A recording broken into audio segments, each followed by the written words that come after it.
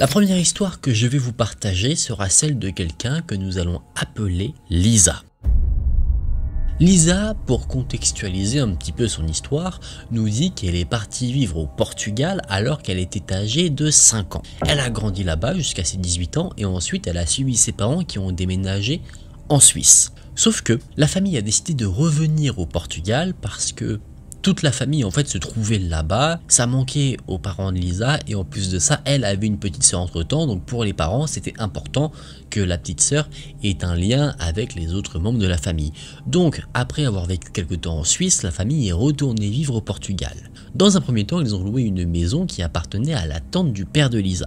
Au début, pendant les premières années, tout se passait très bien. Chacun reprenait un peu ses marques dans le pays dans lequel ils avaient vécu. La famille a même adopté un chien. Lisa retrouve ses amis d'enfance, donc tout se passe pour le moment comme dans le meilleur des mondes. Mais en 2021, les choses ont commencé à être assez bizarres dans la maison. Quelques soirs, Lisa se couchait assez tardivement car elle était victime d'insomnie. Et à chaque fois, elle entendait des bruits étranges venir de son grenier. Elle s'en souciait pas forcément parce qu'en fait, elle rationalisait la chose en se disant que c'était probablement l'arbre qui se trouvait devant la fenêtre de sa chambre qui tapait sur les tuiles et que c'est ça en réalité qui donnait cette impression qu'il y avait du mouvement dans le grenier. Le temps a continué à passer et toujours elle entend ces fameux bruits dans le grenier alors qu'il n'y avait pas forcément de vent qui pourrait justifier le fait qu'il y ait des mouvements des branches de l'arbre sur les tuiles de la maison. Donc elle a demandé à son père qu'est-ce qu'il y a dans le grenier? Parce que peut-être il y a quelque chose qui bouge et qui crée justement ces bruits. Sauf que le père dit qu'il n'y a que des chaises qui ont été placées dans le grenier, grenier qui est difficilement accessible, car ces chaises étaient vieilles et inutilisées, donc inutile de les laisser traîner dans la maison. Le temps passe, les bruits cessent un petit peu, mais Lisa, elle, se sent de moins en moins bien chez elle. Par exemple, à un moment donné, le père de famille avait acheté une box pour la télévision, avoir plein de chaînes, sauf que Lisa, elle, ne regardait pas beaucoup la télé, donc elle ne s'est pas forcément préoccupée de la chose. Un matin, elle est partie pour aller faire ses études, la télé était éteinte, et en revenant de ses cours, elle trouvait la télé allumée, sur une chaîne comme si quelqu'un avait regardé la télévision tranquillement. Au début, elle s'est dit que c'était probablement un des membres de sa famille qui était peut-être rentré manger qui avait oublié d'éteindre la télé en partant. Sauf que là où c'est devenu problématique et que Lisa a commencé réellement à s'inquiéter, c'est que cet événement-là n'est pas arrivé une fois, mais neuf. De plus, à chaque fois que la famille rentrait à la maison, le chien, lui, aboyait comme s'il souhaitait exprimer quelque chose. Les parents de Lisa s'inquiétaient un petit peu, se posaient quelques questions, mais ils n'ont rien fait, ils n'ont pas commencé à enquêter ou quoi que ce soit. Ils essayaient probablement en fait de rassurer les enfants en ne montrant pas qu'eux-mêmes étaient très inquiets de la situation, et le temps a continué à passer encore, et les événements étranges ne se sont pas arrêtés au fil du temps. En août 2023, là, la famille a décidé de déménager, non pas parce qu'ils en avaient assez des événements étranges, mais parce qu'ils avaient trouvé un logement qui correspondait beaucoup mieux à leurs attentes et à leurs besoins. Donc, via le moment du déménagement, il fallait reprendre les chaises qui se trouvaient dans le grenier, les mettre dans le camion et les ramener parce que les chaises appartenaient à la famille de Lisa, elles n'étaient pas présentes dans le domicile à la base. La maison a ensuite été louée à quelqu'un d'autre, un homme que nous allons appeler Gaspard pour l'histoire, et lui avait d'autres projets pour la maison, c'est-à-dire que la famille de Lisa, elle, était là-bas pour y vivre, seulement y vivre, alors que ce Gaspard, lui qui était un artiste peintre, comptait se servir de la maison et comme domicile et comme atelier,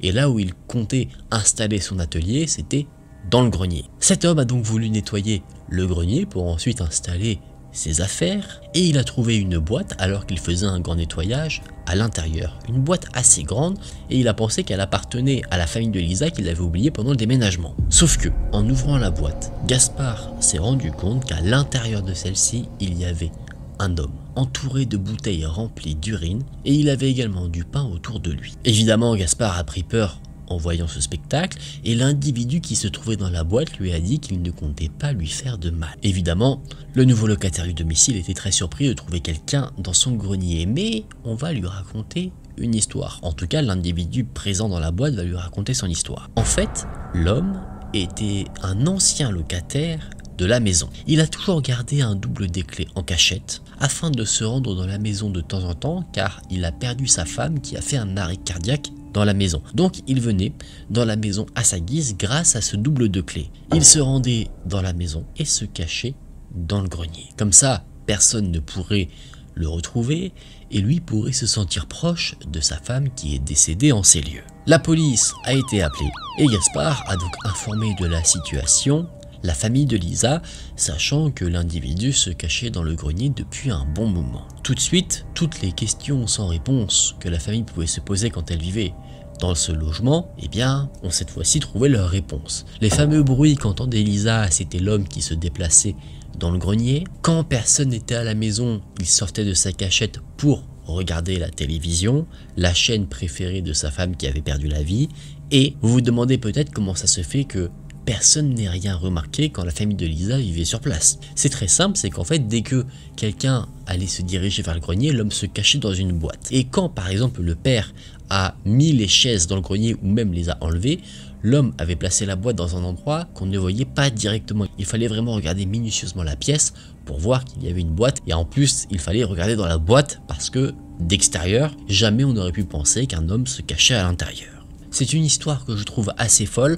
Là, dans ces circonstances, on peut dire que la famille de Lisa et même le nouveau locataire ont eu beaucoup de chance, que la personne qui s'est cachée dans le grenier n'avait pas de mauvaises intentions à l'égard des nouveaux locataires. Parce que cette histoire me fait penser à un autre récit que j'ai déjà fait sur la chaîne il y a maintenant belle lurette comme on dit, où dans cette histoire, la personne qui s'était cachée dans le grenier et qui y vivait avait assassiné une des personnes qui logeait normalement dans la maison. Je pourrais la raconter d'ailleurs parce que c'était vraiment une histoire incroyable. Peut-être à l'avenir je ferai un, petit remaster de l'histoire, je sais pas.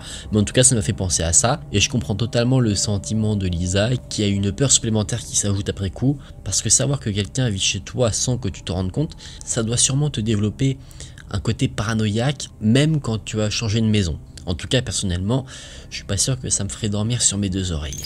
Dans cette seconde histoire, je vais vous partager le témoignage de Garrick. Garrick nous dit qu'à l'époque où il était au collège, il vivait dans un petit village. C'est pour dire, il n'y avait qu'une église et quelques habitants. Un endroit plutôt tranquille, sans histoire, où il ne se passait pas grand chose. Un jour, il est allé se promener avec sa sœur sur un chemin qu'il avait l'habitude d'emprunter, donc il le connaissait bien. Ce chemin se situait juste à côté de sa maison, il partait de la route principale et il menait jusqu'à une petite forêt. La balade se passe plutôt tranquillement et frère et sœur arrivent à l'entrée de la fameuse forêt. Et une fois devant cette entrée, alors que Garrick et sa sœur faisaient une petite pause, il a entendu un rire.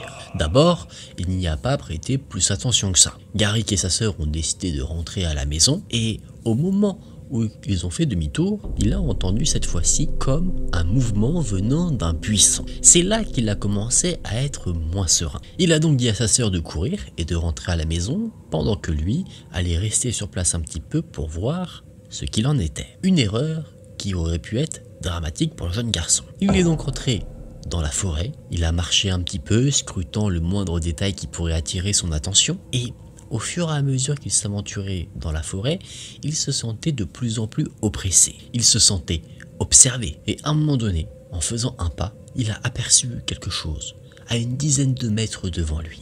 Il a vu un homme surgir sur le chemin principal de la forêt, celui qui était tracé, et tout de suite, Garrick est terrorisé. L'homme était grand, assez imposant. Mais le pire, c'est qu'il avait le maquillage d'un clown. Et il regardait le jeune garçon avec un sourire malsain. Garrick ne savait pas quoi faire, il n'avait plus le contrôle de son corps, il était en quelque sorte condamné à assister au spectacle qu'il avait devant les yeux. Mais il a réussi à reprendre ses esprits, quand l'homme déguisé en clown a commencé à courir en sa direction. Mais il ne courait pas comme si il sprintait vers lui. Garrick décrit la manière de courir de l'homme comme une sorte de danse il faisait de très grands pas, et là Garrick a fait demi-tour et il s'est enfui. Il a été poursuivi jusqu'à l'entrée de la forêt. Là, Garrick a jeté un coup d'œil derrière lui et il a vu que l'homme le suivait encore. Donc notre ami ne s'est pas arrêté là, il a continué sa course, mais c'est en arrivant à mi-chemin de la fameuse route pour rentrer à la maison que là il s'est rendu compte que l'homme ne le suivait pas,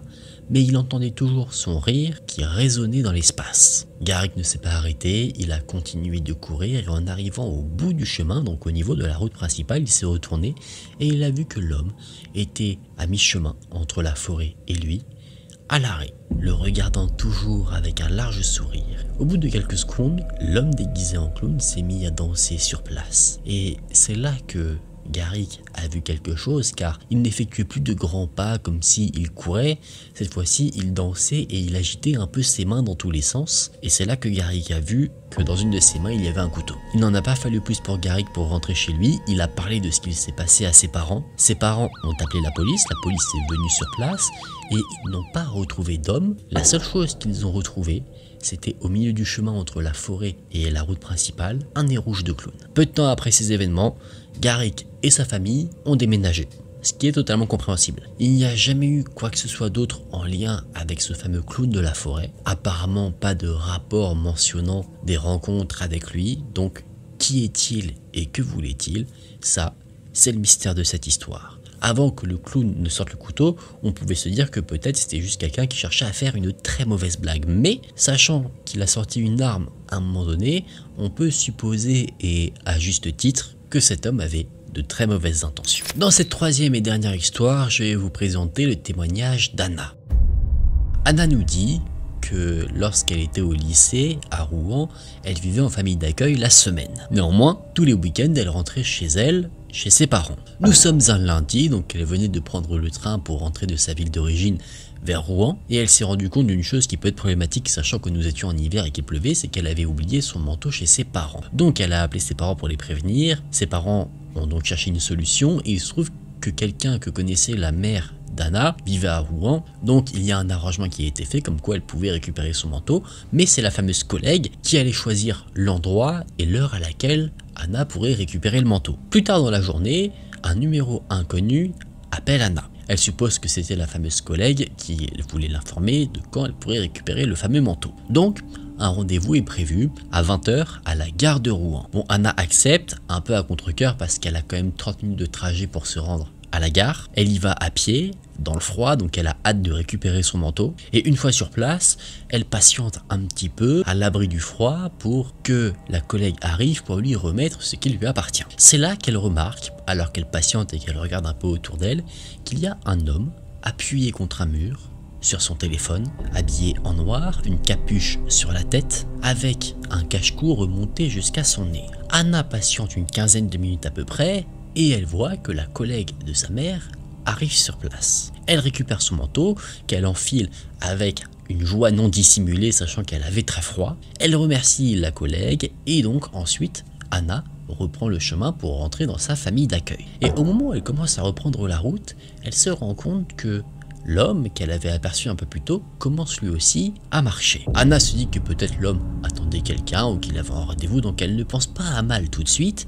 Elle met ses écouteurs dans ses oreilles, elle met de la musique et elle est partie pour faire le trajet retour. Elle fait son petit trajet tranquillement et à un moment donné, elle regarde juste comme ça derrière elle. Elle fait ça parce qu'elle a un petit malaise, rien de dramatique, mais elle cherche juste à se rassurer. Sauf qu'elle se rend compte que l'homme qu'elle avait vu à la gare est en train de marcher derrière elle et qu'il se trouve à peu près à 5 mètres derrière elle. Anna continue sa route, pensant encore que ce n'est peut-être qu'un hasard, et bien qu'elle prend certains virages, qu'elle traverse sur d'autres trottoirs, qu'elle fait toute une manœuvre. Hein. Si vous n'avez pas compris, elle a un trajet qui fait que si on la suit, ça se remarque facilement. Et effectivement, à chaque fois qu'elle regarde derrière elle, l'homme est toujours sur ses traces. Et détail important, elle se rend compte qu'au fur et à mesure du temps, cet homme se rapproche d'elle. Et avec ce rapprochement, elle commence à entendre autre chose, d'une part ses bruits de pas, mais également le fait qu'il claque des doigts continuellement. Ce qui ajoute un élément de pression sur Anna. Elle continue de marcher, d'un côté elle cherche à se rassurer, donc elle se dit que peut-être tout cela n'est qu'une coïncidence, donc elle se dit ok, si il tourne dans telle rue, ça veut dire qu'il me suit. Vous vous en doutez, il y a confirmation que l'homme bien en train de la suivre. La panique commence à s'emparer d'Anna. C'est une situation qui est toute nouvelle pour elle. Elle n'a jamais vécu ce genre de choses. De plus, elle avait tendance à penser qu'il n'y avait que des personnes qui étaient euh, attirantes physiquement, qui pouvaient vivre ce genre de situation. Elle, elle ne se considérait pas comme attirante, donc elle se pensait en sécurité vis-à-vis -vis de ce genre de situation. Elle ne se doutait pas que malheureusement, étant une femme, elle pouvait être autant victime que les autres de subir ce genre de comportement désastreux. Il reste une quinzaine de minutes de trajet pour que Anna rentre chez elle. Elle décide donc de presser un peu le pas, sauf qu'elle se rend compte que l'homme en fait de même. Elle arrive à la dernière rue avant d'arriver à la maison, sauf que c'est une rue qui est très longue, c'est une ligne droite, et malheureusement à ce moment-là, il n'y a aucune voiture qui ne passe. Les lampadaires sont espacés les uns des autres, donc il y a des zones d'obscurité, donc c'est une rue qui par rapport à la situation que vit Anna, ne la met pas du tout en confiance. Anna décide de jouer le tout pour le tout. Elle se dit qu'il n'y a plus de place au doute et donc elle décide de faire toute cette rue en courant. Elle ne prend pas la peine de regarder derrière elle, elle ne fait que sprinter, elle veut rentrer à la maison le plus vite possible, elle arrive au portail, elle tape le code pour l'ouvrir et ensuite elle ferme la porte derrière elle et elle va au niveau du palier. Mais juste avant de rentrer dans le logement, elle se retourne et elle voit là, devant le portail éclairé par un lampadaire, l'homme qui la suivait. Cette fois-ci le cache-cou baissé. L'homme lui souriait de toutes ses dents et il lui faisait un signe de la main avec un mouchoir blanc à l'intérieur de celle-ci. Anna est rentrée dans la maison, elle allait dans sa chambre et là, elle a pleuré toutes les larmes de son corps. Elle se demande ce que cet homme lui voulait. Est-ce qu'il y avait une substance sur le mouchoir blanc, peut-être quelque chose pour la rendre inconsciente? Quoi qu'il en soit, après ces événements, bien qu'elle n'ait jamais revu cet homme, elle a toujours eu peur de se faire suivre et que cette situation ne recommence et elle évite autant qu'elle le peut la zone de la gare où elle a fait la rencontre de cet individu. C'est là que se termine son histoire, une histoire qui est la plus grande peur d'Anna, ça l'a marqué et elle est sûre que ça la marquera à vie. Une histoire dramatique que je voulais vous partager là parce que, alors corrige-moi si je me trompe, hein, je n'ai pas euh, la grande vérité, mais il me semble que ce genre de situation malheureusement arrive énormément. La première histoire que je vais vous partager sera celle de quelqu'un que nous allons appeler Anna. Anna nous dit qu'au moment des faits, elle était âgée d'environ 18 ans. À l'époque, elle était encore au lycée, elle n'avait pas encore terminé ses études là-bas et elle vivait chez ses parents. Par contre, ayant la majorité, elle a pu passer l'examen du permis de conduire, examen qu'elle a réussi avec les honneurs. Pour contextualiser un petit peu les choses, elle nous dit que la maison de ses parents est une maison assez spacieuse. Il y a un étage, une cave. Au rez-de-chaussée, il y avait la pièce principale, la pièce à vivre, la cuisine, le salon, une salle de bain et la chambre des parents. L'étage, lui, en fait, était réservé aux chambres des enfants. Donc à l'étage, il y avait la chambre d'Anna et la chambre de son petit frère âgé, lui, de 9 ans.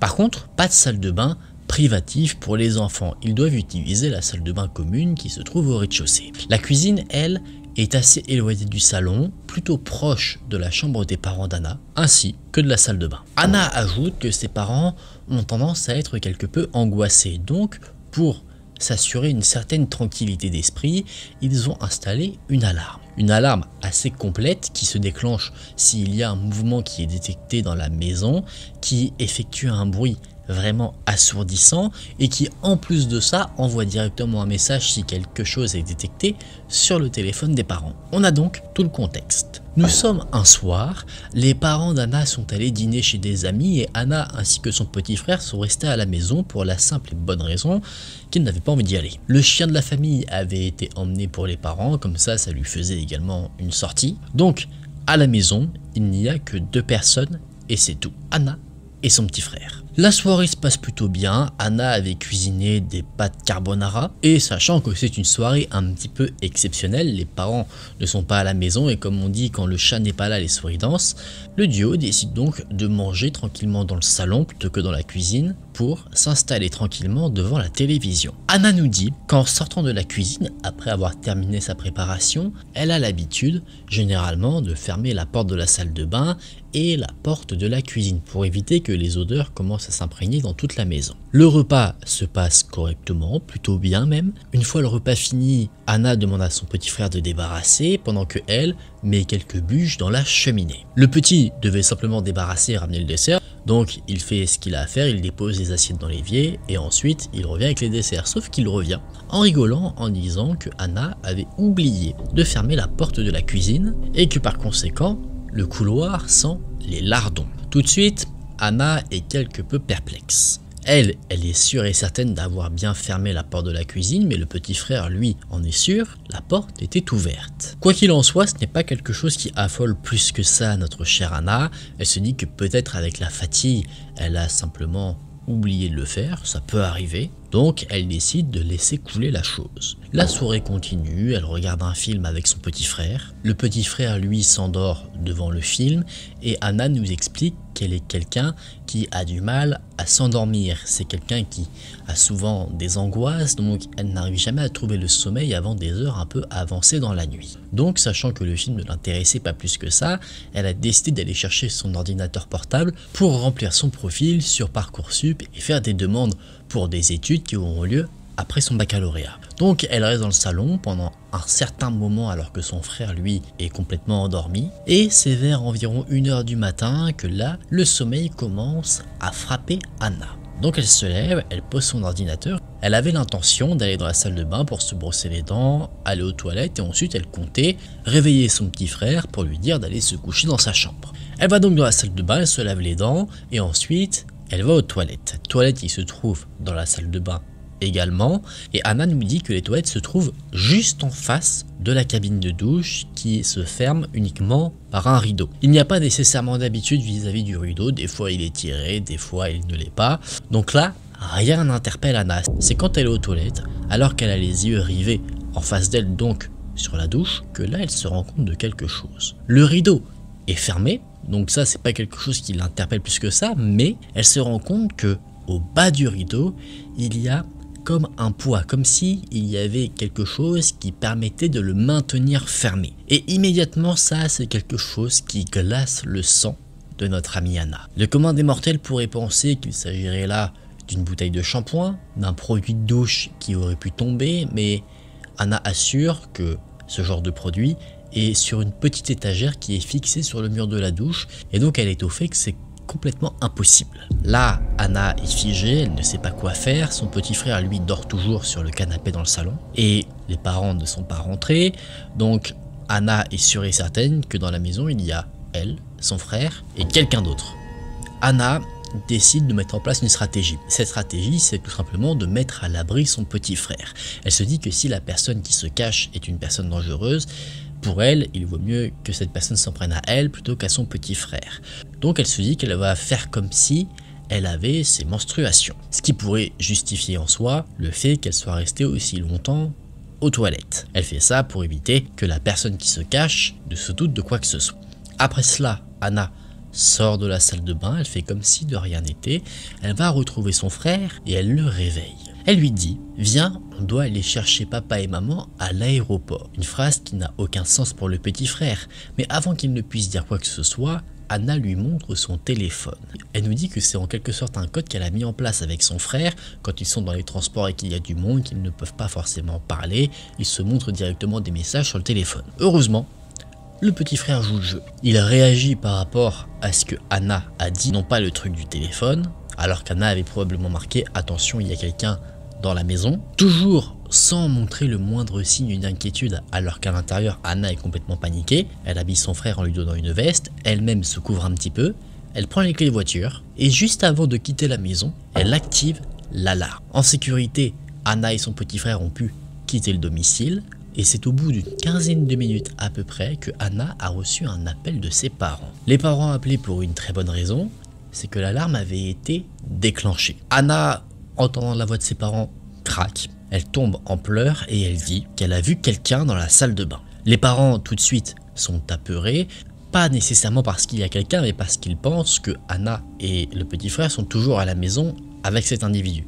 Sauf que Anna les rassure et les parents, rassurés suite au fait d'apprendre que leurs enfants sont en sécurité, appellent la police qui arrive au domicile 20 minutes environ après. La police a inspecté la maison, les alentours, et ils n'ont trouvé personne. Mais ce qu'ils ont vu, c'est que la fenêtre de la chambre des parents d'Anna, elle, était grande ouverte et elle donnait sur le jardin.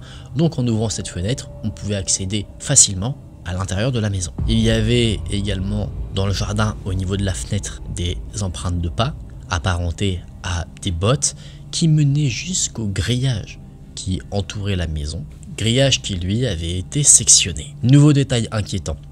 Au pied de la fenêtre, cette fois-ci à l'intérieur de la maison, là, il y avait un couteau de cuisine. Toutes les questions sans réponse que pouvait se poser Anna ont là été trouvées. Pourquoi la porte de la cuisine avait été ouverte alors qu'Anna était persuadée de l'avoir fermée? C'est parce que l'individu qui s'était infiltré dans la maison y était allé pour s'emparer d'un couteau. Est-ce que c'était dans le cas où il se faisait prendre ou est-ce qu'il avait pour première intention de faire du mal aux enfants? Ça, par contre, c'est un nouveau mystère qui s'ajoute à cette histoire. La police a classé l'affaire sans suite parce que, mis à part tous les éléments que je vous ai présentés, personne n'a été trouvé, pas d'autres indices, donc rien ne permettait de retrouver l'individu en question, mais ils ont quand même fait quelques patrouilles à la suite des événements pour essayer de retrouver l'individu si jamais il retentait de s'introduire dans la maison de Anna ou dans une maison du voisinage. Plus tard, Anna est partie pour faire ses études, elle a déménagé. Ses parents, eux, ont changé de grillage qui faisait le tour de la maison, ils ont installé une bonne clôture. Et rappelez-vous, Anna nous disait qu'ils étaient un petit peu parano. Cette situation n'a rien arrangé, c'est pour dire,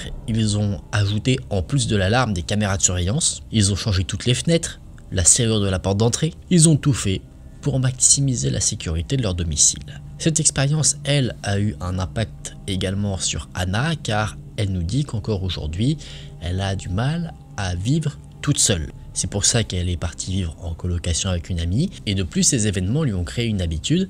Cette habitude, c'est de ne jamais fermer les rideaux de douche. Comme ça, si jamais ce type d'événement se reproduit et que le rideau de douche devant elle est fermé, elle saura qu'il y a quelqu'un derrière. C'est là que son histoire se termine, une histoire qui je trouve est assez perturbante, car savoir que quelqu'un s'est introduit chez soi sans qu'on s'en rende compte et qui fasse sa vie, qui sait ce que l'homme a pu faire pendant que Anna et son petit frère étaient en train de manger, peut-être que c'est à ce moment-là qu'il s'est introduit dans la maison, est-ce que l'individu surveillait la maison depuis un moment, ça c'est plein de questions qui ne font qu'ajouter de la terreur pour ceux qui ont vécu ce type d'histoire, car ils peuvent se dire depuis combien de temps la personne me suit. Est-ce qu'il a attaqué à ce moment-là parce qu'il a vu que les parents étaient partis? Est-ce que c'était simplement un coup de hasard? En soi, c'est le type d'histoire où on se pose plein de questions quand on la vit, qui ne font que nous terrifier de plus en plus. On ne peut pas faire comme si rien ne s'était passé, ça c'est impossible, donc on peut difficilement aller au-delà des choses, mais on essaye quand même de comprendre, peut-être pour se rassurer, je ne sais pas, mais en essayant de comprendre,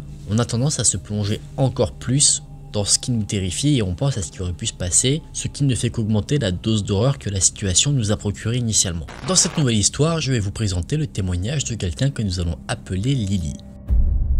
Lily nous dit qu'au moment des faits, elle avait 21 ans et qu'à l'université, elle s'est fait une copine, sachant que sa promotion était assez petite, une vingtaine de personnes environ. Donc elle a sympathisé avec une fille qui était plus âgée qu'elle, qui était âgée de 25 ans, que nous allons appeler Hermione. Lily nous dit qu'au moment où elle a rencontré Hermione, elle venait de se séparer de son petit ami à l'époque, un petit ami qui lui avait fait beaucoup de mal, c'était une relation très toxique, et donc Hermione a été d'un énorme soutien à ce moment-là, ce qui a fait que elle et Lily se sont énormément rapprochées au point qu'elles deviennent meilleures amies. Lily était au courant qu'Hermione comptait arrêter ses études vers la fin de l'année scolaire pour rejoindre l'armée, et le fait qu'elle soit meilleure amie fait que, eh bien, ces deux se soutenaient dans les moments difficiles de l'une et de l'autre. Hermione avait des problèmes psychologiques et Lily était là à la soutenir dans toutes les démarches médicales. Lily précise bien qu'Hermione avait des problèmes psychologiques qui lui rendaient quasiment la vie impossible. Des relations familiales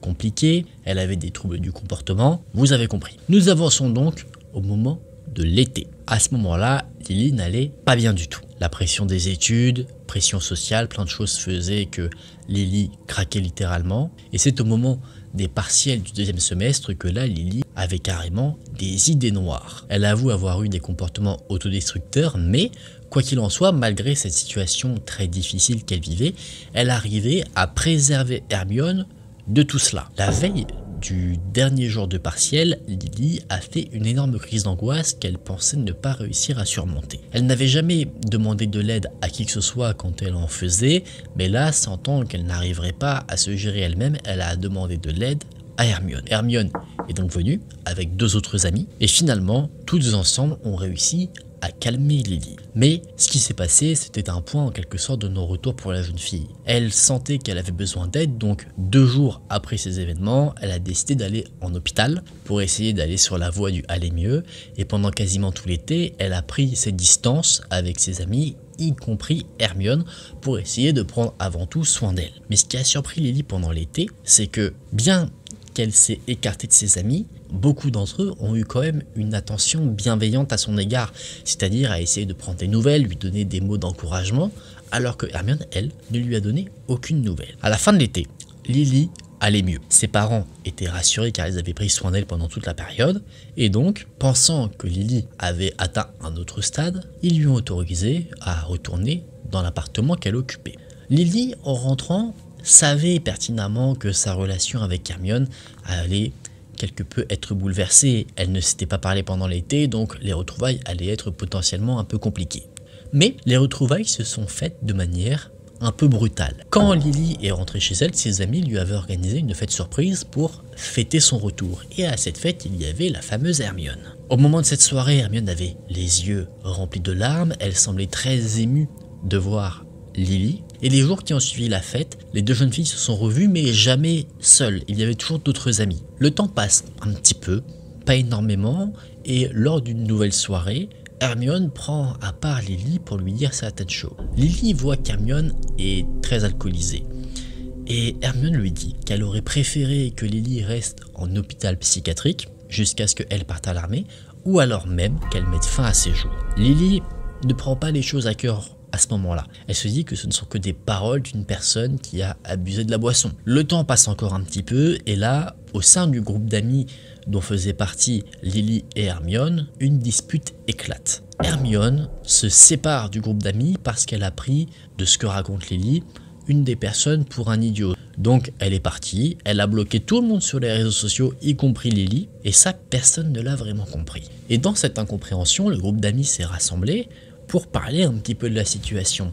Et chacun a pu donner son point de vue sur Hermione. Et il se trouve que chacun avait un point de vue bien différent. En fait, Hermione montrait un visage différent devant chacune des personnes qui composaient ce groupe d'amis. Et Lily, au cours de cette conversation, a appris quelque chose qui l'a fortement troublée. Elle a appris que ce que Hermione lui avait dit lorsqu'elle était alcoolisée n'étaient pas que des paroles de personnes ayant trop bu, mais des paroles sincères. Lily a appris que Hermione souhaitait vraiment que Lily décède plutôt qu'elle revienne retrouver sa vie d'avant. Autre chose qu'elle a appris, quand Hermione était en larmes au retour de Lily. Elle n'était pas en larmes parce qu'elle était heureuse de revoir sa meilleure amie. Elle était en larmes parce qu'elle était en colère de la revoir.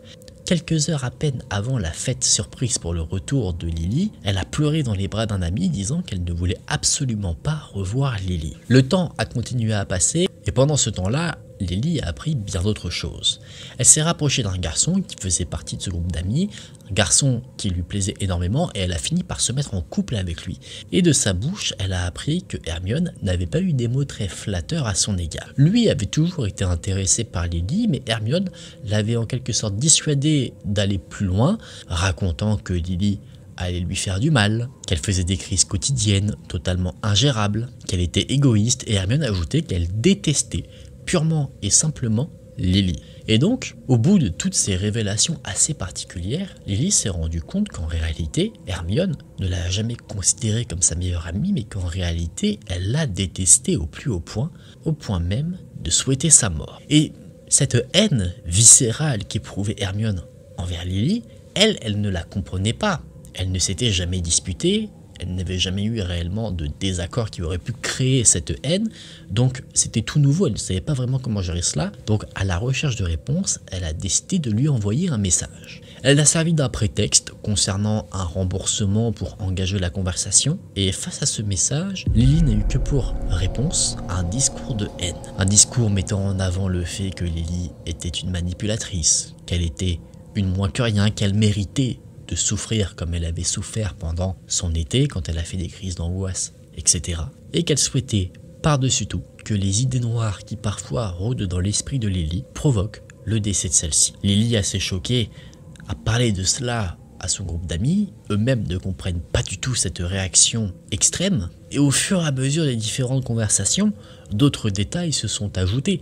En fait, ce qu'elle faisait avec Lily, donc lui inventer complètement une personnalité, elle le faisait avec le monde. C'est-à-dire que Lily n'était visiblement pas la seule victime des paroles mensongères que pouvait prononcer Hermione. C'est là que son histoire se termine, une histoire assez particulière, vous en conviendrez je pense. Une situation qui a, on peut le comprendre, déchiré le cœur de Lily. Elle ne devait probablement pas s'attendre du tout à ce que la personne qu'elle considérait presque comme une sœur lui fasse autant de mal, une situation qui des mois après, voire des années après, nous plonge toujours dans l'incompréhension. Quoi qu'il en soit, au bout de cette histoire, la seule chose qu'on peut espérer, c'est que Lily arrive à trouver une vie qui lui apporte du bonheur, loin de tous ces événements toxiques pour elle.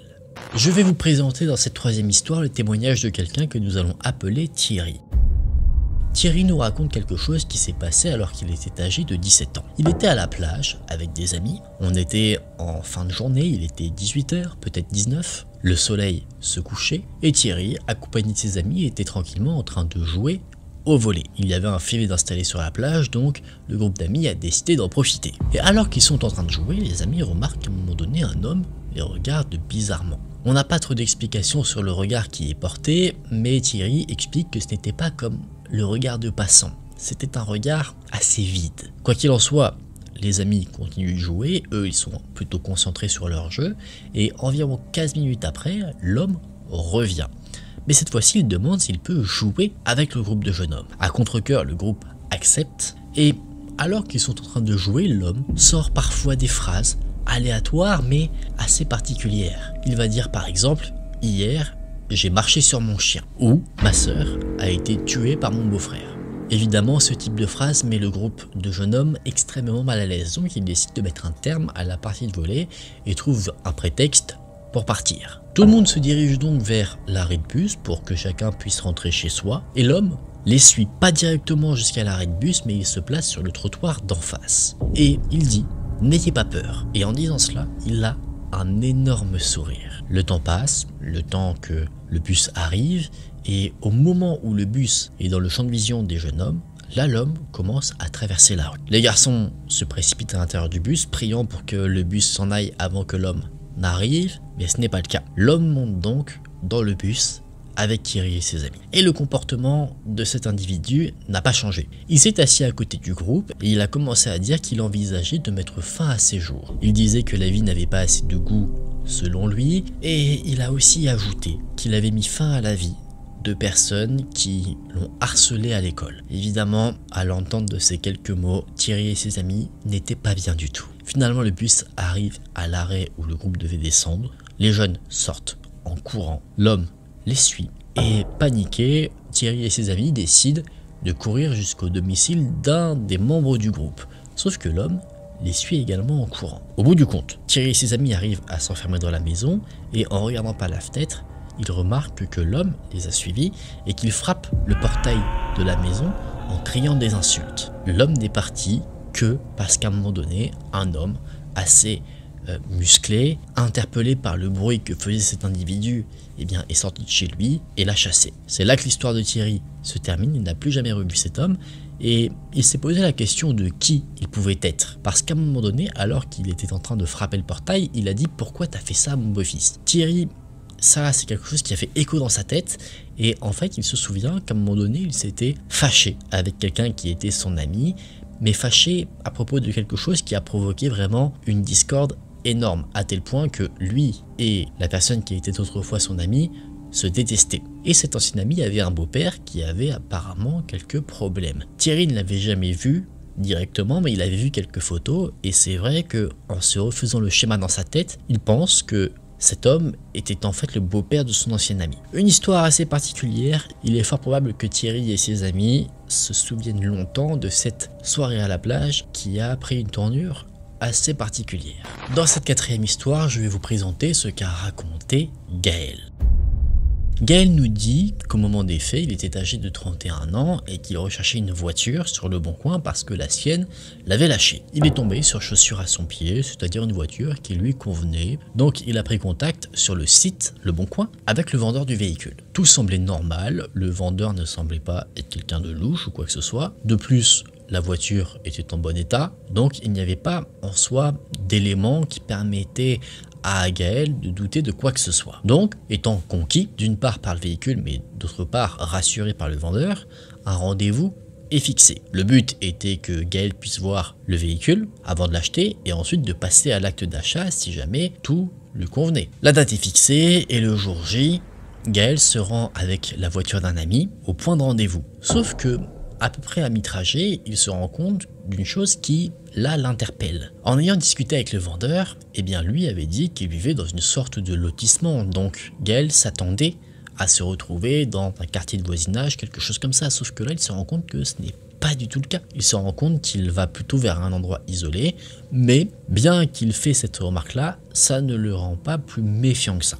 À un moment donné, une fois qu'il arrive au bout de son trajet, il voit le dit véhicule, celui qu'il voulait acheter, qui est garé devant une petite maison isolée. Gaël s'arrête à côté du véhicule, il sort pour aller au rendez-vous, et d'un coup, il a un mauvais pressentiment, une sensation désagréable qui lui noue l'estomac. Donc peut-être pour se rassurer, Gaël prend son téléphone et appelle le vendeur avec qui il avait déjà échangé, sauf que le vendeur est injoignable. Il attend donc quelques minutes et il remonte dans sa voiture. Et un peu comme un réflexe, il regarde le rétroviseur.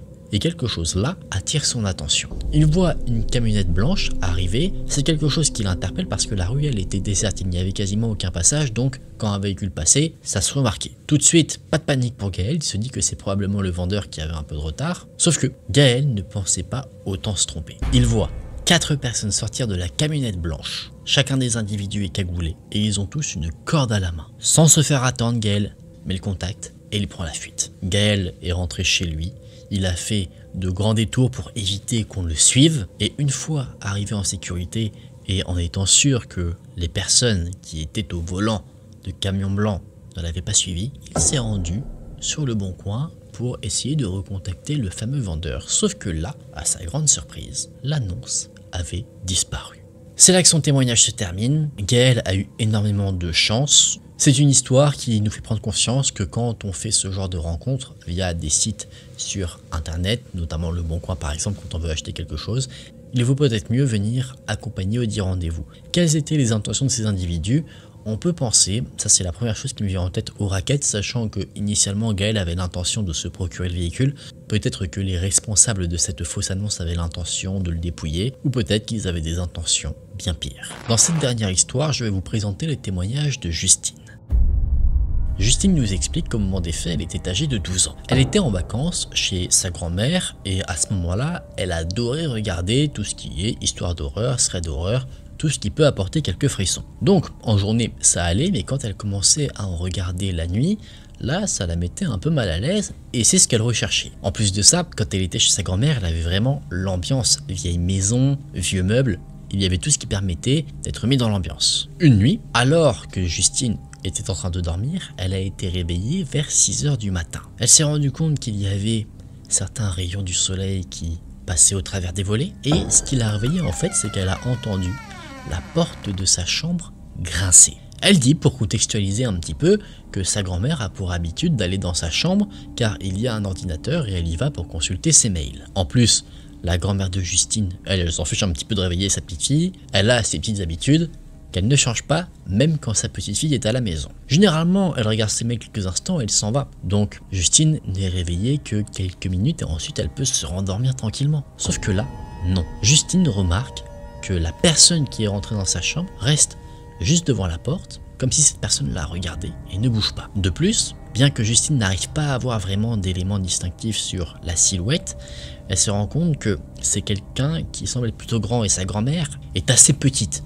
Donc elle comprend assez rapidement que la personne qui est là, ce n'est pas sa grand-mère. Justine ne sait pas vraiment quoi faire, en plus elle a un peu l'esprit embrumé parce qu'elle était en train de dormir, donc elle a ce réflexe de dire Mamie, c'est toi Sauf que la personne en face ne lui donne aucune réponse. Et elle reste là, plantée, devant le lit où se trouve Justine pendant une vingtaine de minutes et la personne repart comme si de rien n'était. Justine était paniquée, elle avait le cœur qui battait rapidement, elle n'osait pas sortir de son lit, donc elle a attendu, elle avoue s'être rendormie, elle s'est levée à 10h et elle n'a rien dit. Pendant un repas de famille, Justine dit à sa grand-mère, sur le ton de la rigolade, tu m'as bien fait peur quand tu es rentré dans ma chambre, et sa grand-mère lui a dit qu'elle n'est pas rentrée dans sa chambre à ce moment-là. Donc Justine ne sait pas finalement qui est rentré dans sa chambre pendant cette nuit. Est-ce qu'elle a fait une paralysie du sommeil? C'est quelque chose qui peut se tenir Est-ce qu'il y avait vraiment quelqu'un? Est-ce qu'elle a eu une hallucination? Ou encore est-ce qu'elle a eu affaire à un événement paranormal? Elle n'en a absolument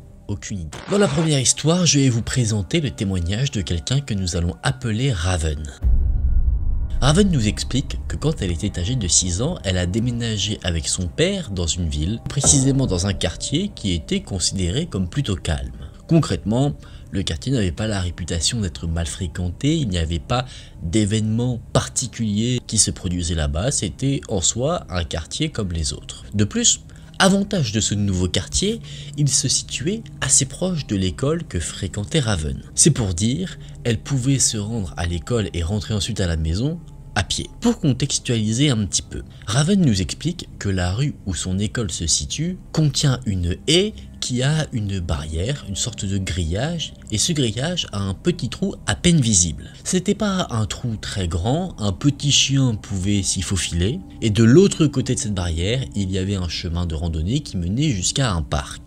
Un parc qui n'était pas très loin du domicile de Raven. Tous les jours, après avoir emménagé dans ce nouveau quartier, Raven partait pour l'école vers 6h et elle rentrait vers 17h30. Sachant qu'elle rentrait à pied, elle avait pour habitude de voir les différents parents qui allaient eux chercher leur enfant. Donc, rapidement, elle a pu apercevoir des visages familiers. Mais un jour, en sortant de l'école, comme d'habitude, Raven a remarqué un homme qui n'attendait pas un enfant, mais qui était un peu plus loin que la sortie de l'école, là où il y avait tous les parents. Et cet homme semblait observer la sortie d'école. Il regardait les parents et les enfants qui sortaient. D'abord, Raven n'en a pas pensé grand-chose. Elle s'est dit que c'était peut-être un passant un peu curieux, ou alors peut-être quelqu'un, un proche d'un enfant qui venait le récupérer, sachant que les parents n'étaient pas disponibles et c'est pour ça que ce visage n'était pas familier à Raven. Mais étonnamment, pendant plusieurs jours durant, elle a vu cet homme à chaque fois dans les mêmes circonstances. Et un jour, alors qu'elle s'est mise en route pour rentrer chez elle, entamer ses 15 ou 20 minutes de marche à pied pour retrouver le confort de son foyer, Raven a remarqué que l'homme qu'elle avait initialement vu à la sortie d'école n'était pas là. Elle s'est donc dit en prenant sa route que l'homme n'allait plus venir. Raven marche tranquillement et c'est en arrivant vers le quart de son trajet qu'elle a ressenti malaise. Elle avait cette étrange impression d'être observée. Par réflexe et probablement pour se rassurer, Raven a jeté un coup d'œil par-dessus son épaule. Et elle a bien eu raison. Elle pensait ne rien voir, mais elle a vu que l'homme se trouvait derrière elle à quelques mètres. C'est une vision d'horreur pour la jeune fille car au moment de cet événement, nous sommes en hiver donc il fait nuit assez tôt. Le champ de vision de Raven n'est donc pas à sa capacité maximale. Elle n'arrive pas vraiment à discerner de quelconque détail, déjà à cause de l'obscurité d'une part, mais d'autre part parce que l'homme était vêtu de tenues très sombres. Il avait une veste noire, des gants noirs, un pantalon noir, ce qui le rendait difficilement observable dans l'obscurité qu'il y avait. Il y a qu'une seule chose qui se dénote de l'apparence de l'homme, c'est un objet qu'il semble tenir dans sa main, de la taille d'un téléphone. Raven trouvait ça plutôt étrange. Donc, elle a pris une bonne décision, celle de continuer son trajet, mais d'augmenter la cadence de sa marche. Et encore une fois, un signal d'alarme s'est déclenché dans la tête de notre ami quand l'homme lui aussi a accéléré sa marche. Raven continue son trajet et bien qu'elle était inquiète, elle essaie de se rassurer en se disant que toute la situation n'était qu'une pure coïncidence. Donc un peu plus loin, elle décide de regarder de nouveau derrière elle pour voir si l'homme est toujours là. C'était effectivement toujours le cas. Toujours pour s'assurer que l'homme ne la suit pas, Raven décide de faire quelques détours, de prendre des virages qu'elle n'était pas censée prendre, et l'homme à chaque fois est sur ses traces. Donc au bout d'un moment, le doute n'est plus permis. L'homme semble effectivement suivre notre ami. Raven est sûr que cet homme en a après elle et qu'il n'a probablement pas de bonnes intentions à son égard. Elle se dit qu'il est inutile de courir car l'homme pourrait la rattraper plutôt aisément et alors qu'elle essaye de trouver une solution de sortie face à cette situation qui la dérange, elle se rend compte que l'homme commence à gagner du terrain sur elle, c'est-à-dire que la marche rapide de l'homme est plus rapide que la marche rapide de Raven. Et c'est là qu'elle tombe devant ce qui va la sauver. Elle arrive au niveau du fameux grillage dont j'ai parlé un peu plus tôt. Raven se dit que ce grillage, ce sera son barreau d'honneur. De par l'obscurité, elle a énormément de mal à retrouver le fameux trou qu'il y avait. Elle le trouve finalement, mais le trou était trop petit pour que la corpulence de notre ami puisse passer au travers. Donc Raven s'est mis à creuser pour agrandir le dit trou. L'homme, lui, se rapproche de plus en plus. Et finalement, Raven réussit son entreprise. Elle arrive à creuser un trou pour en plus de la taille du trou initial, elle puisse passer. Elle passe donc au travers et elle se retrouve donc de l'autre côté du grillage. Une fois la séparation créée par le grillage réalisée, Raven là se met à courir de toutes ses forces. Ce n'est que quelques mètres plus loin qu'elle se retourne et qu'elle aperçoit l'homme au niveau du grillage qu'elle a traversé.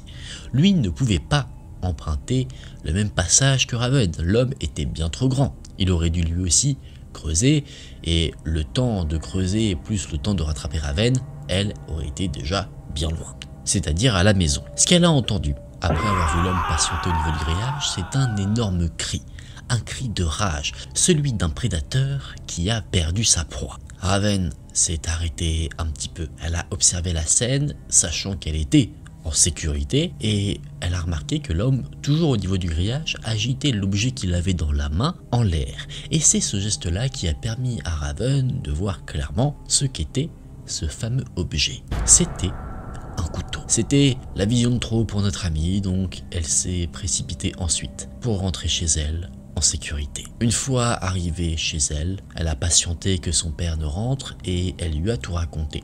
Le père de famille, inquiet, a contacté la police. La police s'est rendue sur place au niveau du grillage et ils n'ont pas retrouvé l'homme, mais ils ont tout de même fait une découverte. Ce qu'ils ont découvert, c'était le couteau de chasse que l'homme avait laissé au niveau du grillage, probablement avant de prendre la fuite. C'est là que le témoignage de Raven se termine. Je pense qu'on peut facilement comprendre que Raven ait pu avoir peur sachant qu'elle a été poursuivie par un individu avec un couteau. Et généralement, quand quelqu'un nous poursuit avec un couteau, ce n'est pas avec de bonnes intentions. Dans cette nouvelle histoire, je vais vous présenter le témoignage de quelqu'un que nous allons appeler Eric.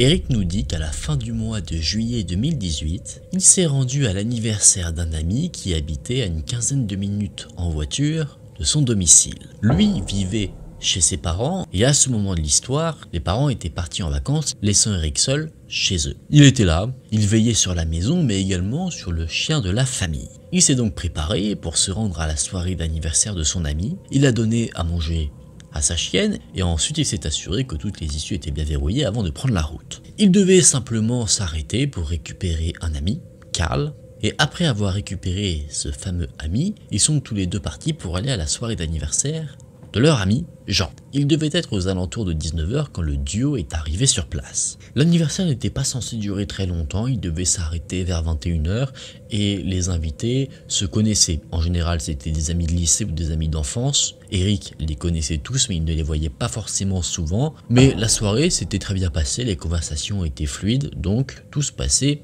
au mieux. Et nous arrivons à l'heure de fin d'anniversaire 21h. Jean, la personne dont c'était l'anniversaire, était tellement satisfait de sa soirée qu'il souhaitait la prolonger, ce qui peut se comprendre totalement.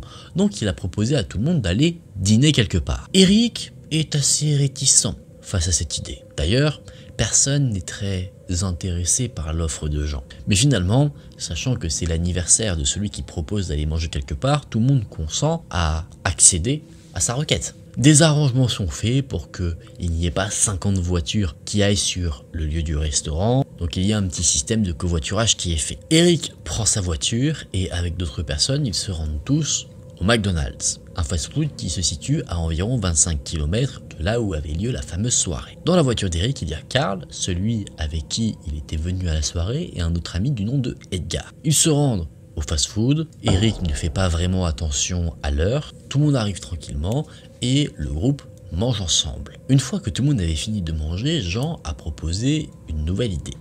Celle de continuer encore la soirée, mais cette fois-ci en boîte de nuit. Une boîte de nuit qui n'était vraiment pas à côté d'une part du domicile de Jean, ni de celui d'Eric, ni du fast-food, fallait faire un peu de route. Eric fait quelques calculs dans sa tête pour savoir combien de temps de trajet il va avoir après pour rentrer, sachant qu'il doit ramener son ami Carl aussi.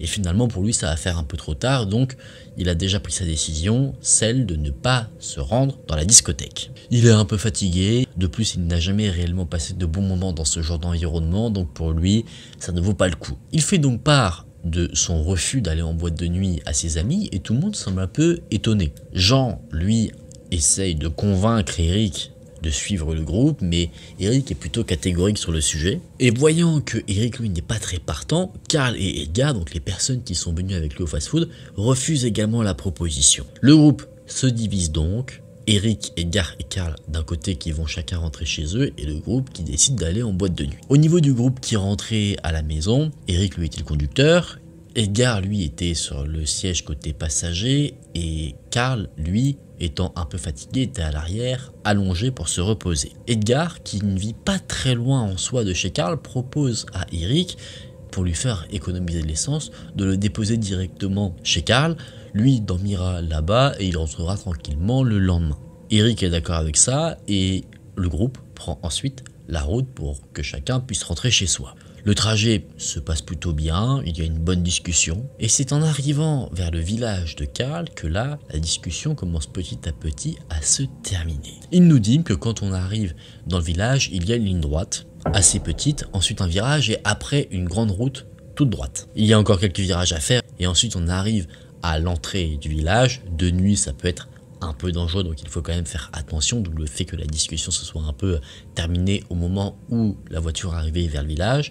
À l'entrée, il y a deux bennes à ordures, et après les bennes à ordures, un rond-point, et à une des sorties, il y a la maison de car. Eric est exténué de la soirée qu'il a passée. Tout le monde est d'ailleurs même très fatigué et le véhicule arrive au niveau du panneau qui indique qu'on entre dans le village. Mais alors que chacun tombe un peu de sommeil. Alors attention, personne ne va s'endormir au volant, mais voilà, tout le monde a les yeux un peu euh, qui tombent. Chacun ressent une certaine fatigue et tout le monde veut juste retrouver le confort de son lit à ce moment-là. Mais un détail va attirer l'attention des passagers de la voiture. Eric voit des phares briller après un virage, mais briller vraiment assez fortement. Évidemment, voyant cela, Eric ralentit. En plus de ça, il va rentrer dans le village, donc il décide de faire très attention. Et après avoir passé le panneau, il tombe nez à nez avec le véhicule qui avait ses phares allumés. Il était face au véhicule d'Eric et littéralement, tous ceux qui étaient dans le véhicule étaient aveuglés par la lumière qui se trouvait en face d'eux. Donc Eric, voulant jouer la carte de la sécurité et il a eu bien raison, a décidé de rouler au pas. Il s'est dit que le conducteur en face avait un problème ou que sais-je, et en se rapprochant petit à petit du véhicule, Eric se rend compte qu'il y a quelqu'un qui est assis sur le capot, mais assis d'une manière vraiment sereine.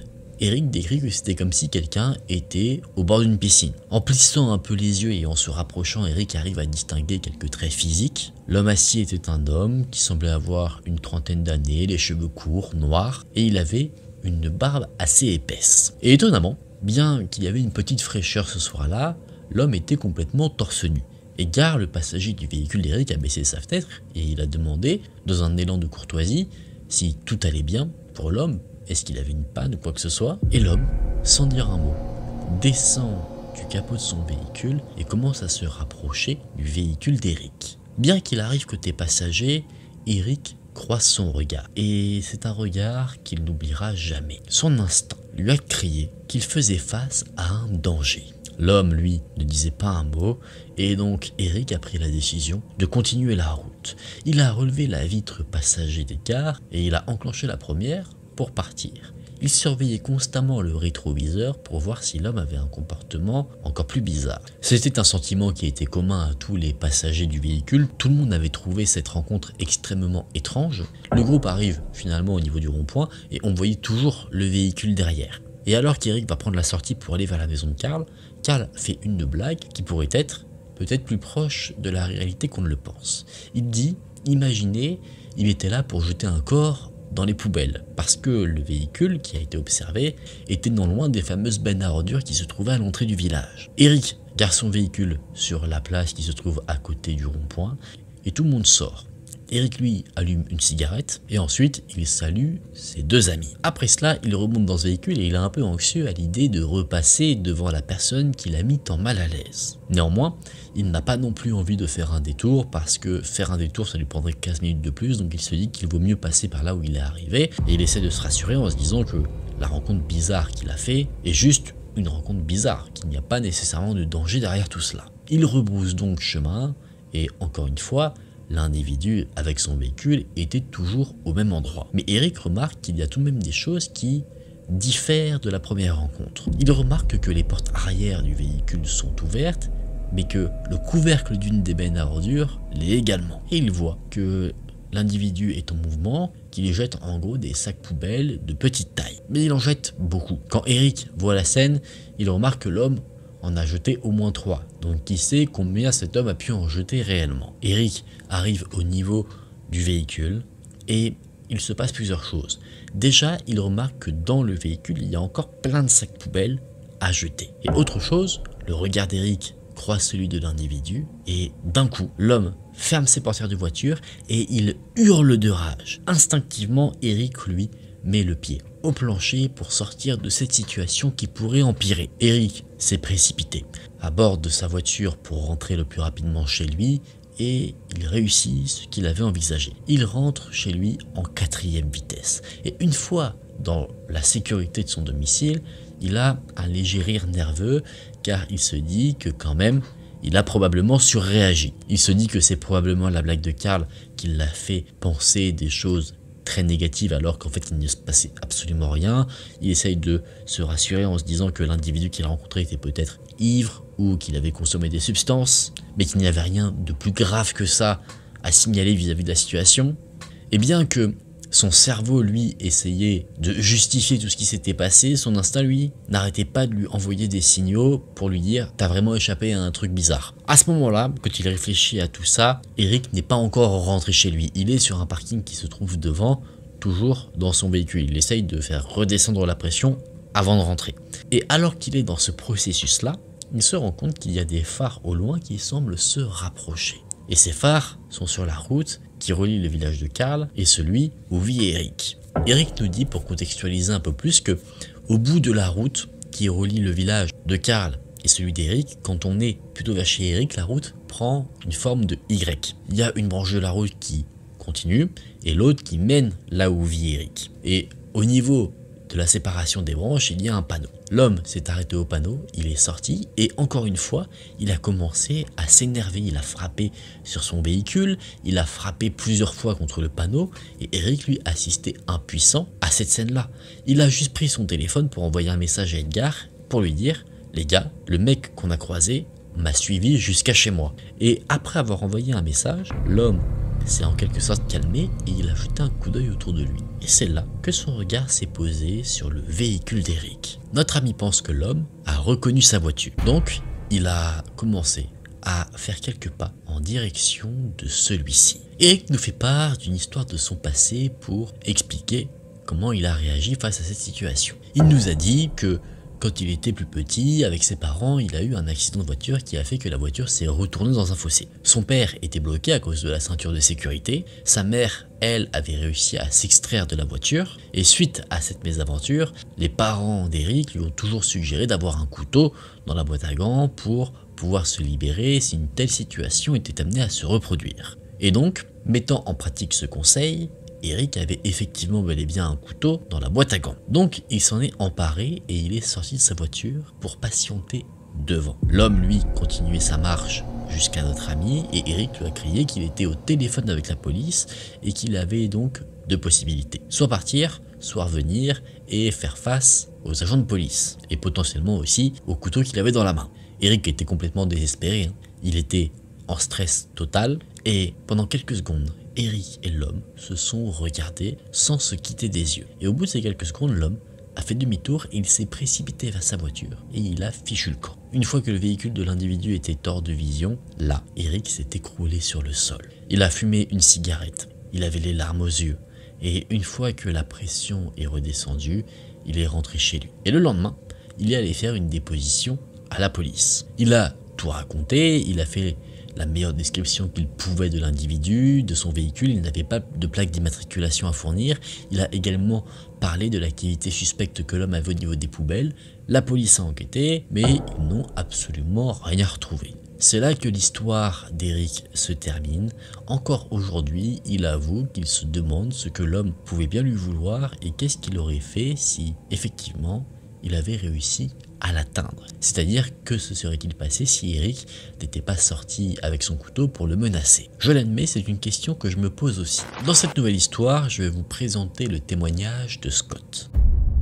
Scott nous dit qu'il a rencontré quelqu'un du nom de Louis quand il était en sixième. Scott venait d'arriver dans un nouveau collège, en plus en cours d'année donc il ne connaissait absolument personne.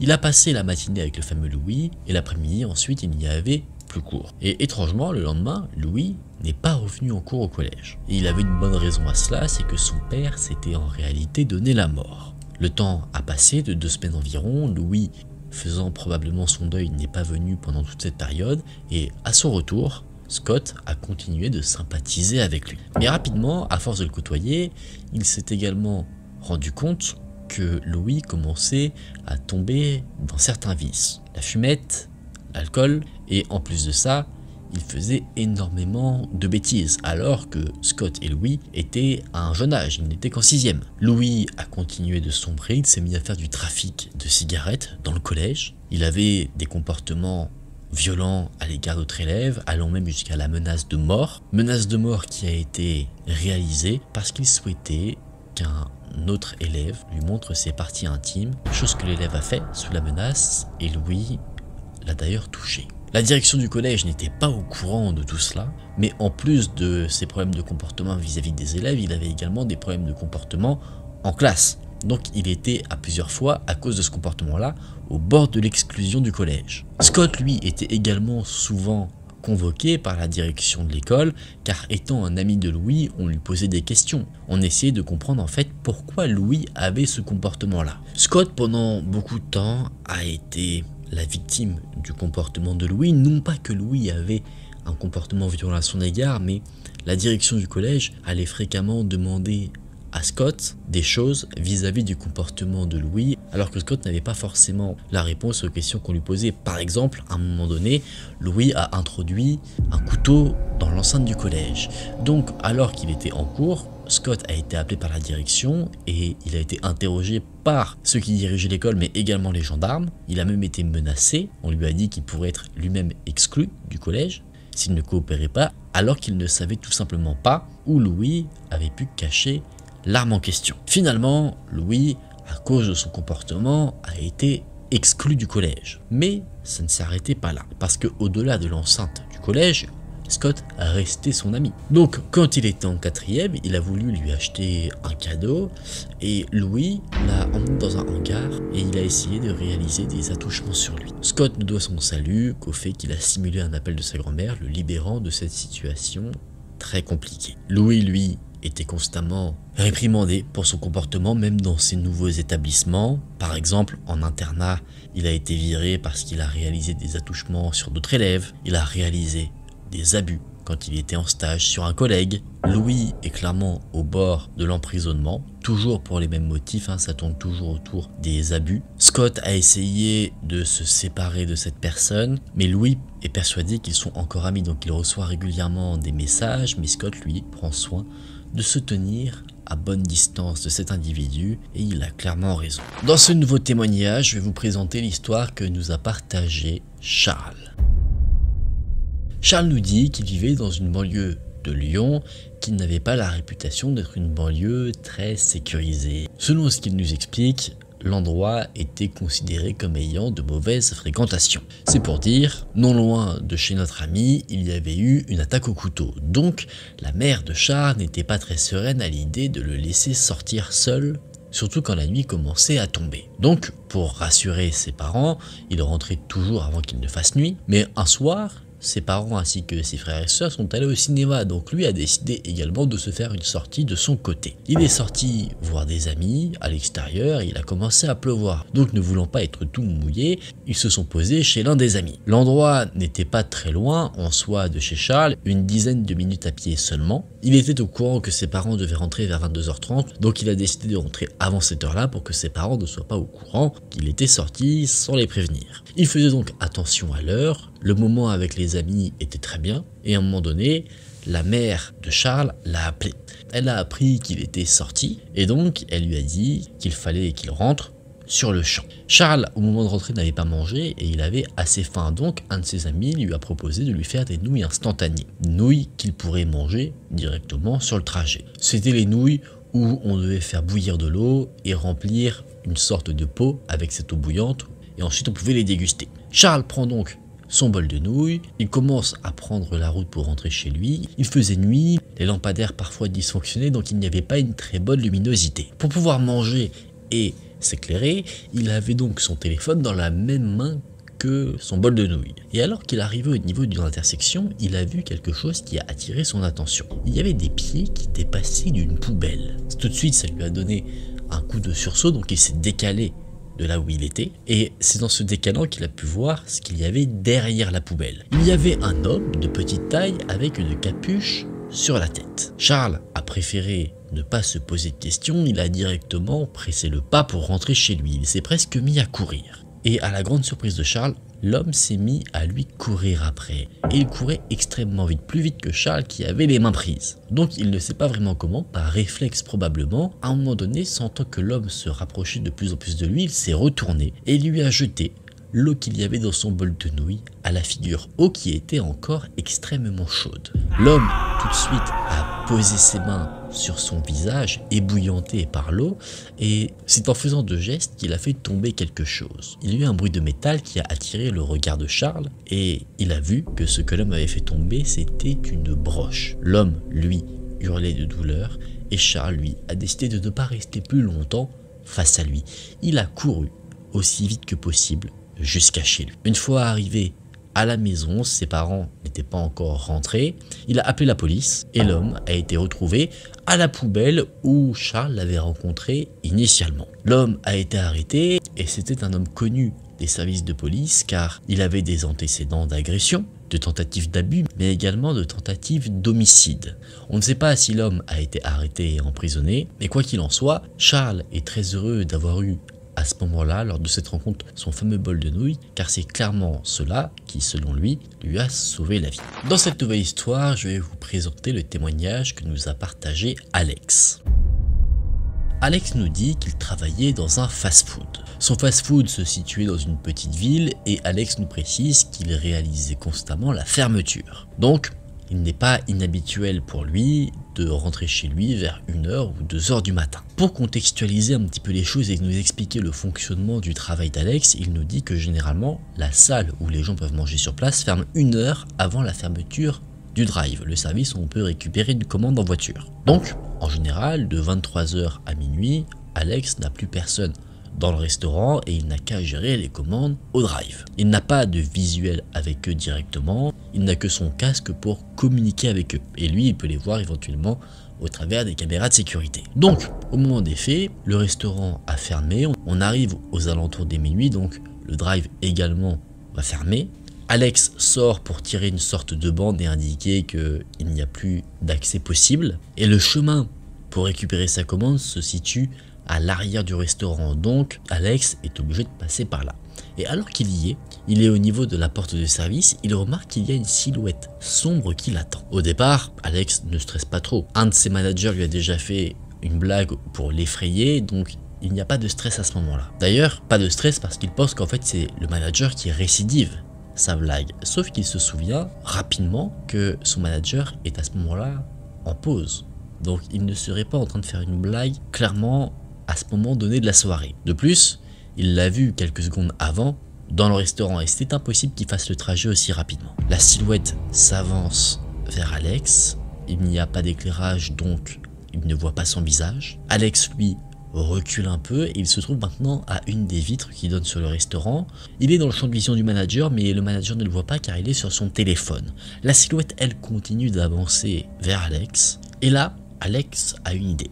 Il nous explique qu'en fait, quand une borne est activée indiquant la présence d'un client, il y a une sorte de micro qui s'active et tous ceux qui ont un casque dans le restaurant peuvent entendre ce qui est dit.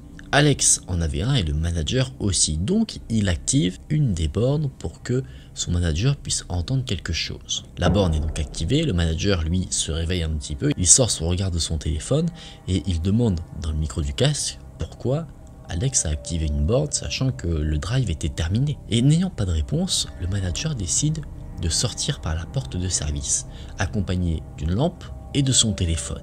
La fameuse silhouette qui effrayait Alex était maintenant entre lui et le manager. Donc, peut-être parce qu'il était acculé, La silhouette qui était un jeune homme s'est mise à crier et ce jeune homme est rentré dans Alex le poussant sur le sol et il s'est enfui en courant. La silhouette a disparu dans l'obscurité de la nuit et le manager, ayant brièvement assisté à la scène, relève Alex et le ramène à l'intérieur du restaurant. Et à peine Alex a eu le temps de se remettre de ce qu'il s'était passé qu'une voiture de police s'arrête devant le fast-food. Les agents viennent interpeller Alex et le manager et leur posent une question qui semble expliquer ce qu'il s'est passé. En fait, les officiers de police annoncent qu'un patient du service psychiatrique d'un hôpital s'est enfui. Les caméras de sécurité ont été consultées et les officiers de police confirment que la fameuse silhouette qu'on voit sur plusieurs enregistrements et plutôt bien est effectivement la personne qui est recherchée. La police se remet donc à sa recherche et fort heureusement, le jeune homme est retrouvé à une gare qui se situait non loin du fast-food. Donc tout semble s'être bien fini. Et quelques jours plus tard, Alex a eu quelques explications supplémentaires. En fait, le jeune patient a aperçu Alex sortir du fast-food et il s'est dit, voyant qu'il était complètement isolé et dans l'obscurité, qu'il pourrait peut-être facilement lui voler son téléphone portable. Ce qu'il voulait, c'était pas dépouiller directement Alex, il voulait en fait appeler sa petite copine pour qu'il vienne la chercher et fuir l'hôpital psychiatrique. Le manager a refusé de montrer à Alex les enregistrements de caméras de surveillance. Est-ce qu'il y avait sur ces caméras qui ont une fonctionnalité de vision nocturne des choses qui pourraient montrer qu'Alex a eu énormément de chance? C'est possible. Est-ce que le jeune homme avait un couteau ou quelque chose de la sorte? Ça, Alex l'ignore complètement. Mais on ne peut être qu'heureux en tout cas que cette histoire soit bien finie, qu'Alex n'ait rien eu et que le patient ait été ramené dans un endroit où on pourra prendre soin de lui. La première histoire que je vais vous partager sera celle de quelqu'un que nous allons appeler Jessica. Jessica nous dit que au moment des faits, elle vivait avec son petit ami et elle était âgée de 18 ans. À ce moment-là, Jessica traversait une grande étape dans sa vie car elle partageait pour la première fois un appartement avec celui qu'elle aimait. Elle faisait ses études à l'université et lui travaillait dans un bar, donc il n'était pas inhabituel pour Jessica le soir de se retrouver seule quand elle rentrait de ses cours. Un après-midi, alors que Jessica rentrait chez elle, elle s'est rendue compte qu'elle avait oublié de prendre ses clés avec elle. Donc, elle a dû faire un détour et passer au travail de son petit ami pour récupérer son double à lui.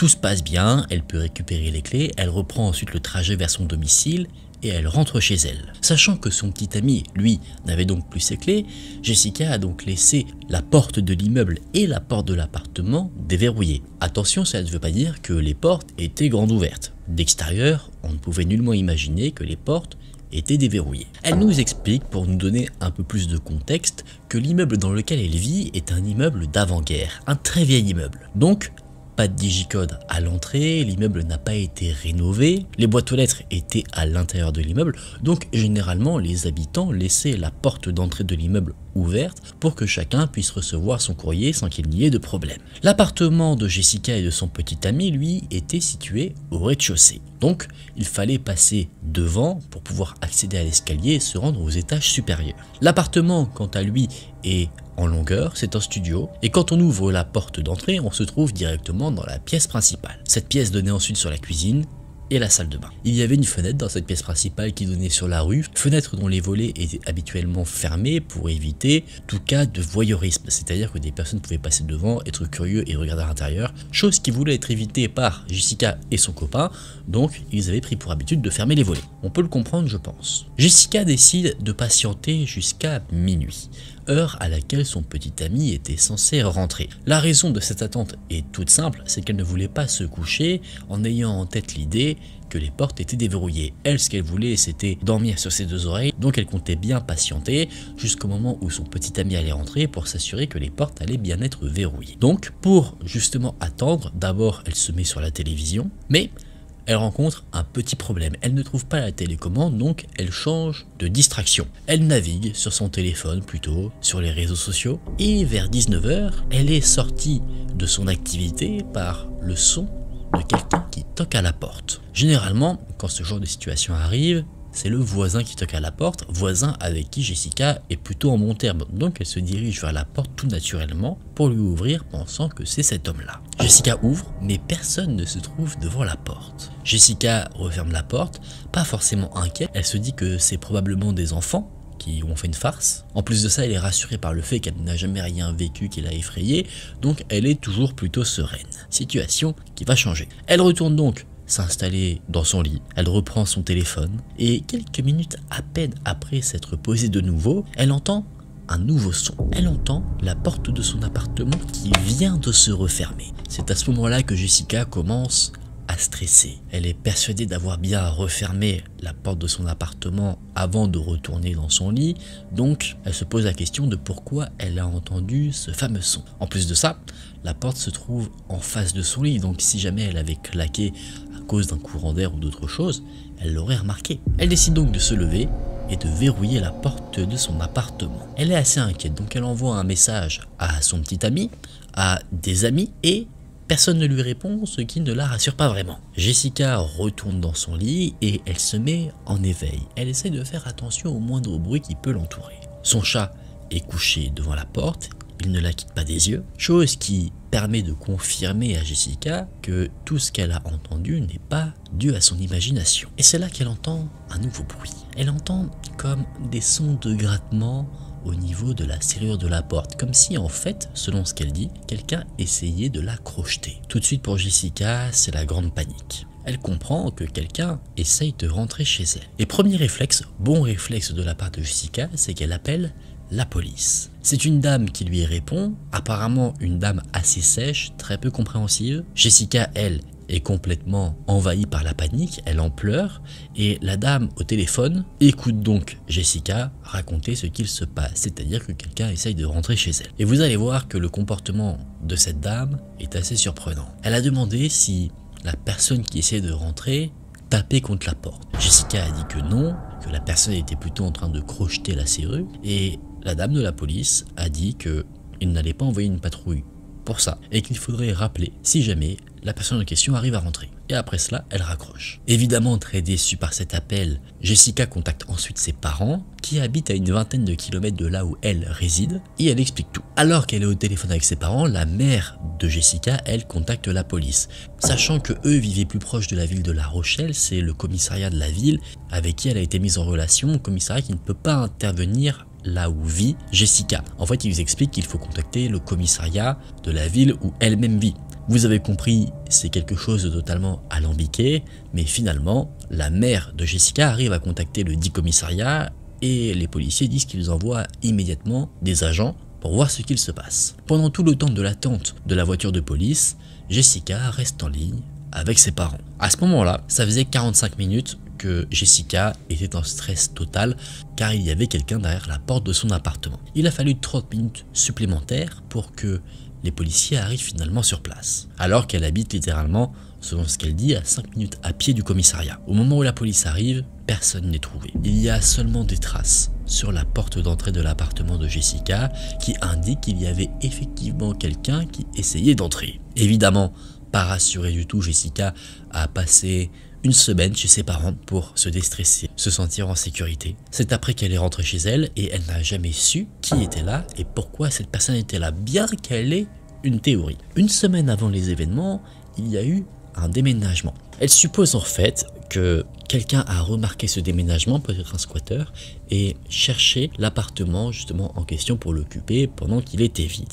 Cette personne se serait trompée et aurait ciblé l'appartement Jessica. Mais ce qu'elle ne comprend pas, on va dire ce qui coince dans cette théorie-là, c'est pourquoi la personne a quand même tenté de rentrer dans l'appartement, sachant que Jessica eh avait ouvert la porte quand quelqu'un a toqué. Donc c'était facile de comprendre qu'il était occupé si l'objectif bien sûr était de loger dans un appartement qui n'était pas encore habité. Finalement, suite à ces événements, Jessica a consulté un psy parler de ce qui lui est arrivé, aller mieux, et dans la finalité de l'histoire, Jessica a déménagé de l'endroit où il s'est passé cet événement qui l'a horrifié. Dans cette nouvelle histoire, je vais vous présenter ce qu'a partagé une jeune fille que nous avons appelée Lucie. Elle nous dit qu'au moment des faits, elle vivait encore avec sa famille, une famille composée de 5 personnes. Elle vivait dans une maison, dans un quartier d'une banlieue, rien de spécial à signaler, à part quelques cambriolages ici et là. La maison de Lucie était située entre deux rues, non loin d'une forêt, et c'était une maison qui pouvait se remarquer. Elle dénotait complètement du style des autres maisons du quartier, notamment par le toit qui était un toit complètement plat. Elle ajoute que ses parents n'étaient pas forcément pour avoir un système d'alarme, donc il n'y avait pas de système de sécurité pour la maison. Les clôtures qui entouraient la maison étaient basses, la grille du jardin toujours ouverte, ce qui donnait parfois lieu à des situations assez cocasses. Il n'était pas inhabituel pour Lucie et sa famille de trouver des gens dans leur jardin, non pas qu'ils étaient là pour faire du voyeurisme, mais juste pour récupérer leur chien qui s'était aventuré sur la propriété. Sinon, c'était des jeunes qui se lançaient des défis un peu idiots, du style est-ce que t'as le courage d'aller dans le jardin de cette maison et les gens le faisaient. D'ailleurs, dans le lot de ces situations cocasses, il y en a eu qui ont été un peu plus problématiques que d'autres. Une nuit, le père de Lucie a dû faire fuir des gens qui essayaient de voler des vélos dans la cabane derrière la maison. Et un autre matin, Lucie a été très surprise de voir en ouvrant ses volets qu'il y avait une échelle qui était placée pour se rendre sur le balcon. Autre élément de contexte que Lucie juge assez particulier et qu'elle se partageait, elle nous dit que toutes les chambres sont au rez-de-chaussée et non à l'étage. À l'étage, il n'y a que la chambre des parents, la chambre parentale et les autres pièces à vivre. Et les murs étant un peu fins, des chambres au rez-de-chaussée, on pouvait facilement entendre ce qui se passait à l'étage. Donc, au fur et à mesure du temps, avec l'habitude, Lucie pouvait deviner qui était à l'étage. Elle reconnaissait les pas de ses parents ou de ses frères et sœurs. De plus, Lucie explique que des chambres, on pouvait relativement bien entendre ce qu'il se passait dans le jardin. Surtout que, dans la maison, quasiment tout le monde a l'habitude de dormir les fenêtres ouvertes. Au moment des faits, Lucie était au lycée et elle a été réveillée une nuit parce qu'elle entendait des bruits à l'étage. Elle a essayé de reconnaître à qui appartenaient les différents bruits qu'elle entendait et habituellement de nuit c'est plutôt sa mère qui se réveille pour aller aux toilettes. Mais là, ce qu'elle entend ce n'est pas le bruit d'un de ses parents. Elle entend des bruits de pas, pas réalisés avec des chaussures et elle entend comme si on fouillait dans les différents meubles de la maison. Étant assez paranoïaque à cause des différentes situations que la famille a pu vivre au cours du temps, elle essaye de se rassurer, de se dire que ce n'est rien. Mais le son incessant ne lui permet pas de retrouver une certaine tranquillité. La peur ne fait que s'amplifier dans le corps de notre amie Lucie, et apeurée, elle a décidé de se lever et de filer dans la chambre de sa sœur. À ce moment-là, le téléphone de Lucie était éteint, donc elle n'a pas pris le réflexe de le prendre et de l'allumer. L'entrée de Lucie dans la chambre de la sœur l'a réveillée, et en la voyant, cette fameuse sœur a tout de suite compris que quelque chose n'allait pas. Elle a donc accueilli sa sœur dans son lit, et en chuchotant, Lucie a expliqué qu'elle avait entendu des bruits et qu'elle pensait qu'il y avait donc quelqu'un dans la maison. Les deux sœurs se taisent, elles restent toutes deux en éveil pour être à l'affût du moindre bruit qui pourrait expliquer ce qu'il se passe. Lucie, elle, n'entend pas grand-chose, et au bout d'un moment, la sœur tend son bras, attrape son propre téléphone et elle appelle le téléphone fixe de la maison. Il y a plusieurs combinés dans la maison, donc quand le téléphone sonne, ça fait énormément de bruit. Rapidement, la sœur raccroche et Lucie nous explique qu'elle a clairement ressenti une différence entre avant l'appel et après. Avant, il y avait ces bruits assez légers discret mais incessant, et après que le téléphone est sonné, il y a un calme absolu, un silence de mort. Aucun bruit pour indiquer que la personne est partie, donc les deux sœurs présument que la personne qui était venue avait sauté par le balcon. Ça c'est quelque chose que les deux sœurs ne peuvent pas confirmer, parce que si jamais ça avait été le cas, la seule chambre où on aurait pu entendre quelque chose était la chambre de Lucie, et comme vous le savez en suivant cette histoire, elle n'y était pas. Le lendemain, les deux sœurs ont tout raconté aux parents. Les parents les ont crus et ils ont donc retourné à la maison à la recherche peut-être d'objets manquants. Mais étrangement, absolument rien n'avait disparu. Donc impossible pour la famille de savoir ce que cet homme voulait et surtout qui il était. Dans ce troisième témoignage, je vais vous présenter celui qui a partagé une jeune fille qui souhaitait être appelée Nabi. Elle nous dit qu'elle était âgée de 15 ans au moment des faits. Elle était encore au collège à ce moment-là et elle traversait une période assez compliquée. Elle devait faire face au décès de son père à la suite d'un cancer. Sa mère et sa sœur étaient en conflit avec la famille paternelle. Et précision dans cette histoire, la sœur de Nabi faisait partie d'un groupe de danse qui était composé majoritairement de membres de la famille. Et donc, pour des raisons personnelles, la sœur ainsi que Nabi qui faisait partie de ce groupe de danse l'ont quitté. Un mois plus tard, une des personnes faisant partie de ce groupe de danse, qui était le cousin de Nabi, a annoncé qu'il allait se marier. La date du mariage fut fixée à un vendredi, donc Nabi devait y aller après l'école et c'est quelque chose qui lui déplaisait un petit peu parce que généralement elle était assez fatiguée après sa journée de cours. Elle n'avait pas envie de rentrer, se préparer alors qu'elle voulait juste aller se coucher, mais elle s'est dit qu'elle ferait une très belle sieste au lendemain des festivités. Le jour du mariage, une tante est venue chercher la mère de Nabi, ainsi que Nabi elle-même, pour se rendre dans un endroit appelé le foyer vietnamien, lieu où se déroulait la fameuse soirée de mariage. C'était un endroit où il y avait une petite allée en béton, une petite montée par laquelle les voitures pouvaient passer, et au bout de l'allée, il y avait, entre guillemets, ce qu'on peut appeler la salle des fêtes. Un endroit qui était, selon ce que dit Nabi, plutôt grand. Détail important, les murs de la salle étaient en briques, et sur un côté de celle-ci, il y avait de grandes vitres là où étaient placées les tables où les invités pouvaient se restaurer. Et au bout de la rangée de tables, il y avait une porte qui menait vers un balcon qui fait face à l'avant du terrain où il y avait la salle des fêtes. Nabi et sa mère étaient situés sur une table qui se trouvait pas très loin de la fameuse porte. La soirée a commencé, Nabi témoigne qu'elle s'ennuyait beaucoup, elle ne connaissait pas grand monde, voire personne, donc le temps était pour elle affreusement long. Elle restait principalement avec sa mère qui elle aussi se sentait un peu à l'écart, elle n'arrivait pas à discuter avec que ce soit. Et à un moment donné, en ayant marre, Nabi a demandé à sa mère si elle pouvait sortir, prendre l'air et jouer avec le téléphone de celle-ci. La mère a accepté et donc Nabi est allé sur le balcon pour jouer tranquillement. Et à un moment donné, le téléphone de la mère de Nabi a sonné et sur celui-ci, il n'y avait pas de contact attribué au numéro. Nabi nous explique qu'on lui a toujours dit qu'il ne fallait pas répondre à des numéros qu'on ne connaissait pas. Donc elle a laissé le téléphone sonner jusqu'à ce qu'il arrête de sonner et ensuite Nabi est retournée sur le jeu auquel elle était en train de jouer. Et alors qu'elle passait le temps, elle a entendu quelqu'un l'appeler avec une voix masculine. Elle s'est donc retournée pour chercher qui avait bien pu l'interpeller et elle a finalement trouvé.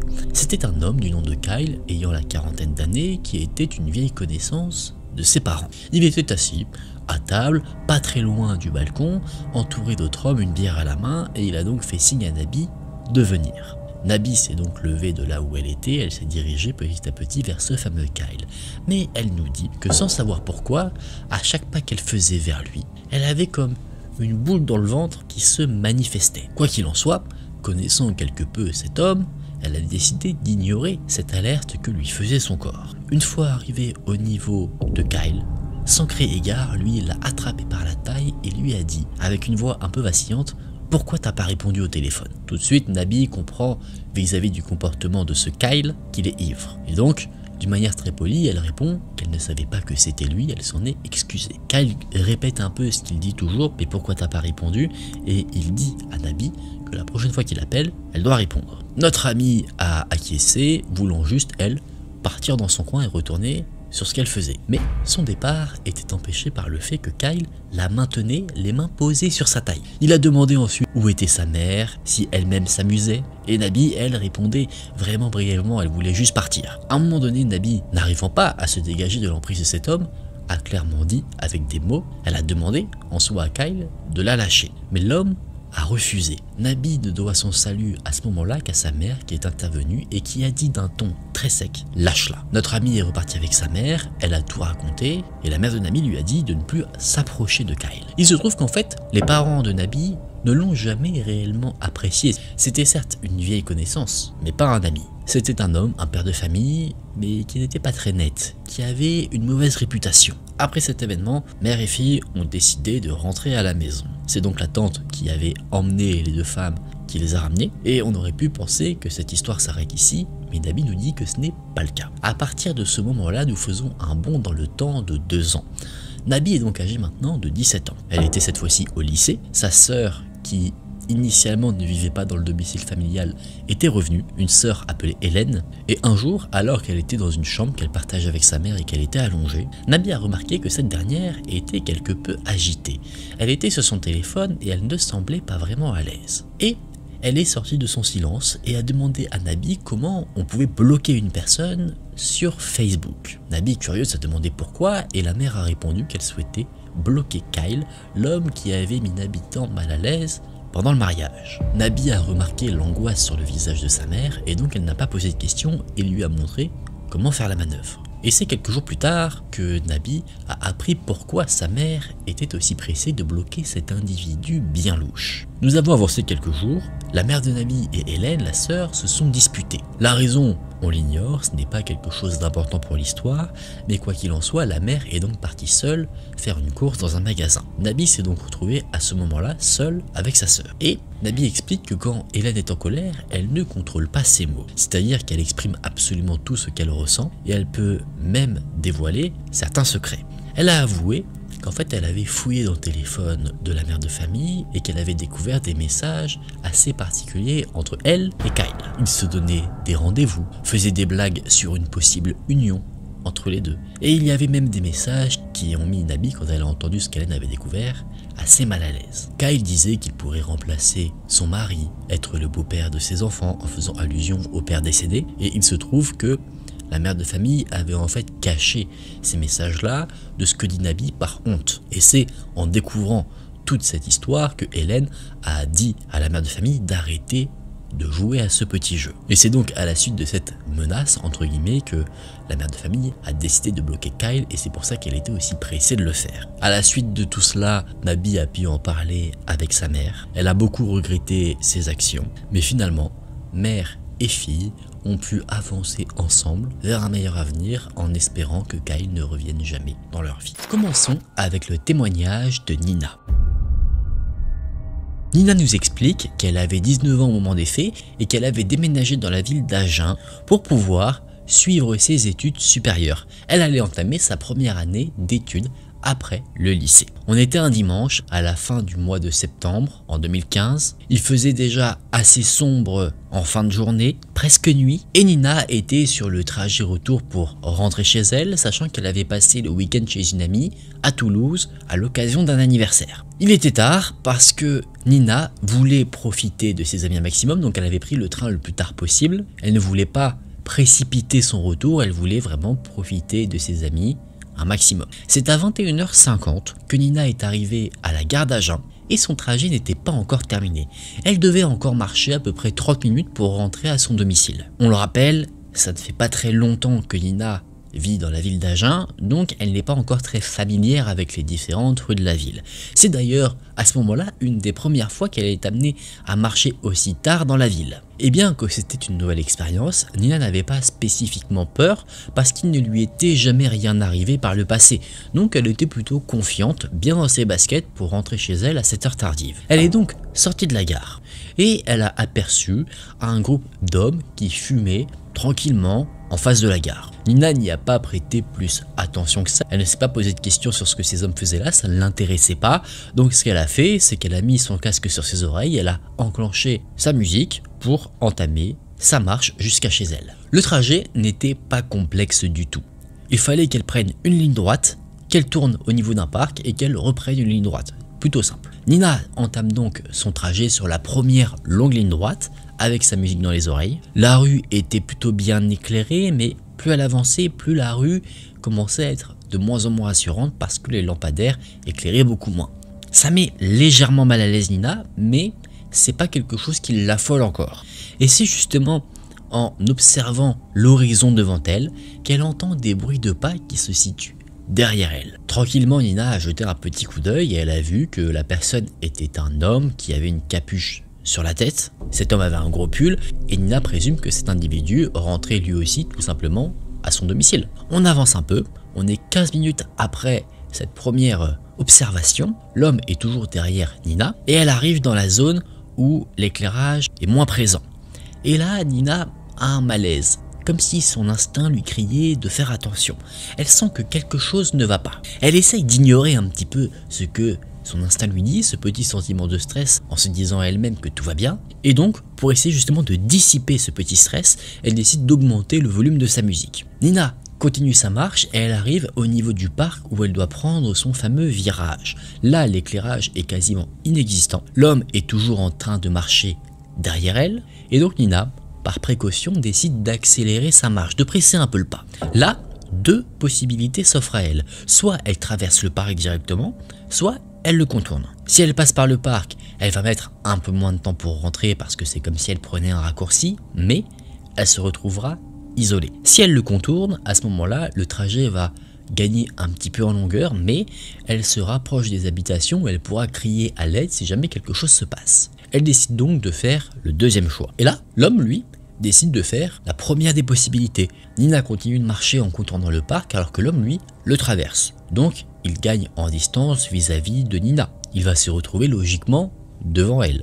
Mais ce qu'il faut savoir, c'est que quand on est à l'extérieur du parc, on peut voir un petit peu au travers des buissons ce qu'il y a à l'intérieur. Et elle remarque que l'homme regarde constamment dans la direction de Nina, comme si il la surveillait, comme si il cherchait à faire attention à ne pas la perdre de vue. Nina comprend cette fois-ci avec certitude que quelque chose ne va pas, elle décide de presser le pas, elle veut distancer l'homme. Son objectif est simple, faire en sorte que l'homme ne l'intercepte pas quand il sortira du parc. La situation pour Nina est très oppressante, elle a peur, elle marche aussi vite que possible, elle ne veut pas se mettre à courir parce qu'elle a peur que l'homme se mette à sa poursuite, elle ne veut pas montrer qu'elle est effrayée par la situation qu'elle est en train de vivre et que cet homme, de par cette peur, gagne en quelque sorte une emprise sur elle. La pression étant tellement forte, Nina commence à pleurer, elle essaye de pleurer silencieusement, elle ne veut vraiment pas montrer à l'homme qu'elle est totalement apeurée. En plus, elle est dans un endroit encore moins rassurant qu'avant, car là, il n'y a vraiment plus aucune lumière qui éclaire la route. Pas de lumière des lampadaires, pas de lumière qui viennent des maisons autour, pas de voitures qui passent. Elle était totalement livrée à elle-même. En plus, elle se rend compte que l'homme continue sur le même trajet après être sorti du parc. Donc, si elle se rend directement chez elle, l'homme saura où elle vit.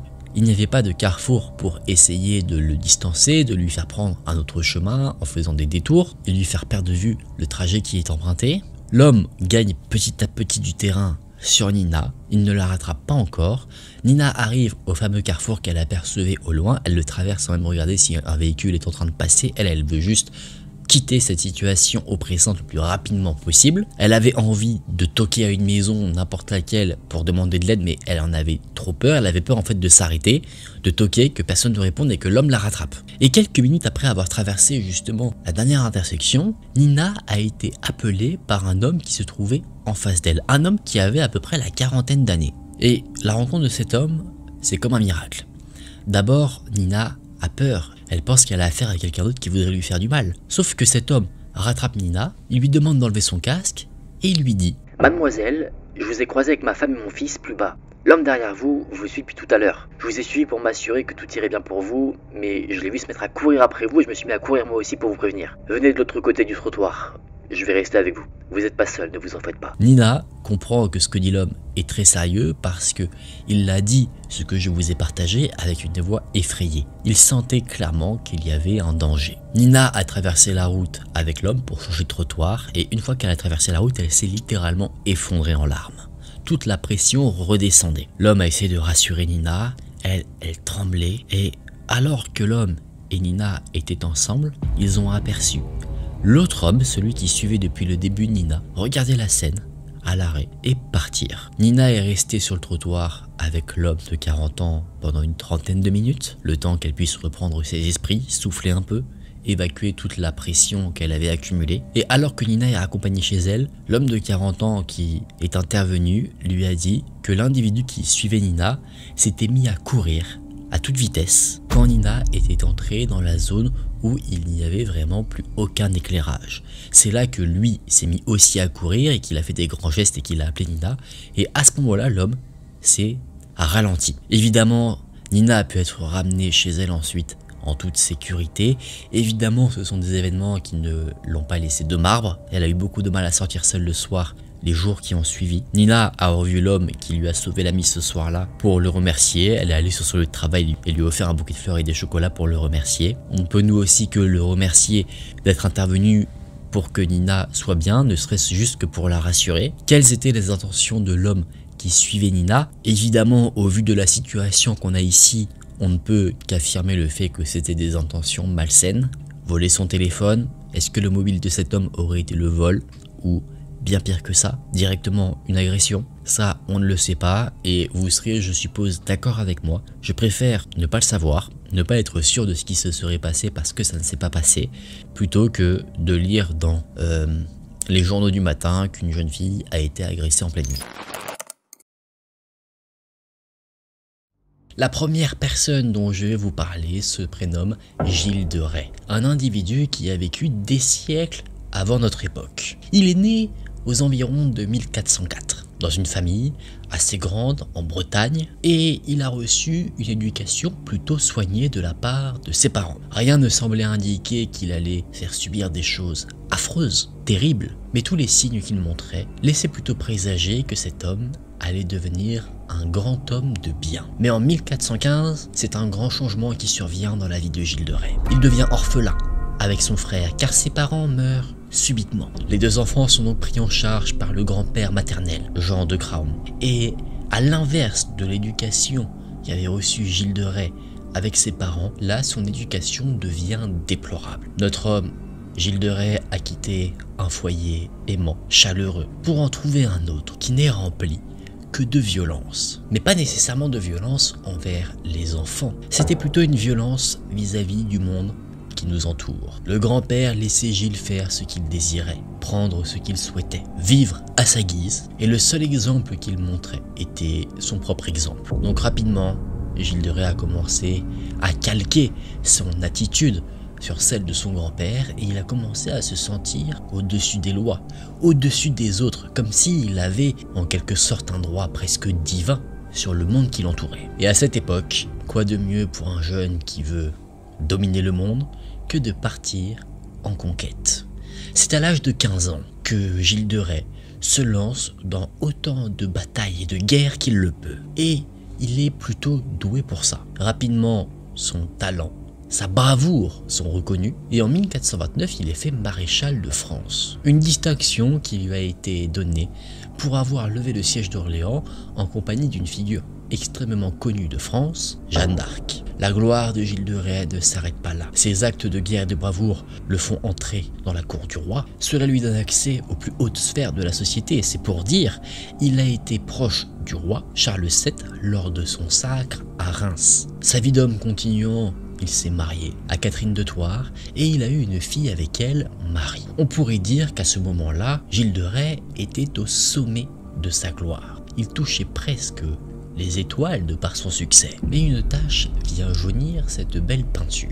Alors qu'il était âgé de seulement 28 ans, le grand-père maternel de Gilles de Rais, celui qui a continué son éducation, perd la vie. Par conséquent, Gilles hérite de nombreux domaines, comme par exemple beaucoup de châteaux dans l'ouest de la France, ainsi que d'une immense fortune. Et notre homme, maintenant qu'il est devenu noble et par les titres et par la fortune, souhaite reconnu non plus uniquement pour sa bravoure lors de guerre, mais aussi en tant que personne, en tant que noble. Donc il dilapide énormément d'argent pour organiser des festivités majestueuses. Il organise des énormes galas en son honneur, il organise également des pièces de théâtre qui sont prodigieuses. Tout le monde semble sous l'admiration de cet homme, à qui on dirait que tout réussit, mais dans l'ombre, il se livre à certaines expériences. Derrière toutes ces paillettes, il se donne à l'étude de sciences occultes. Il étudie également la magie,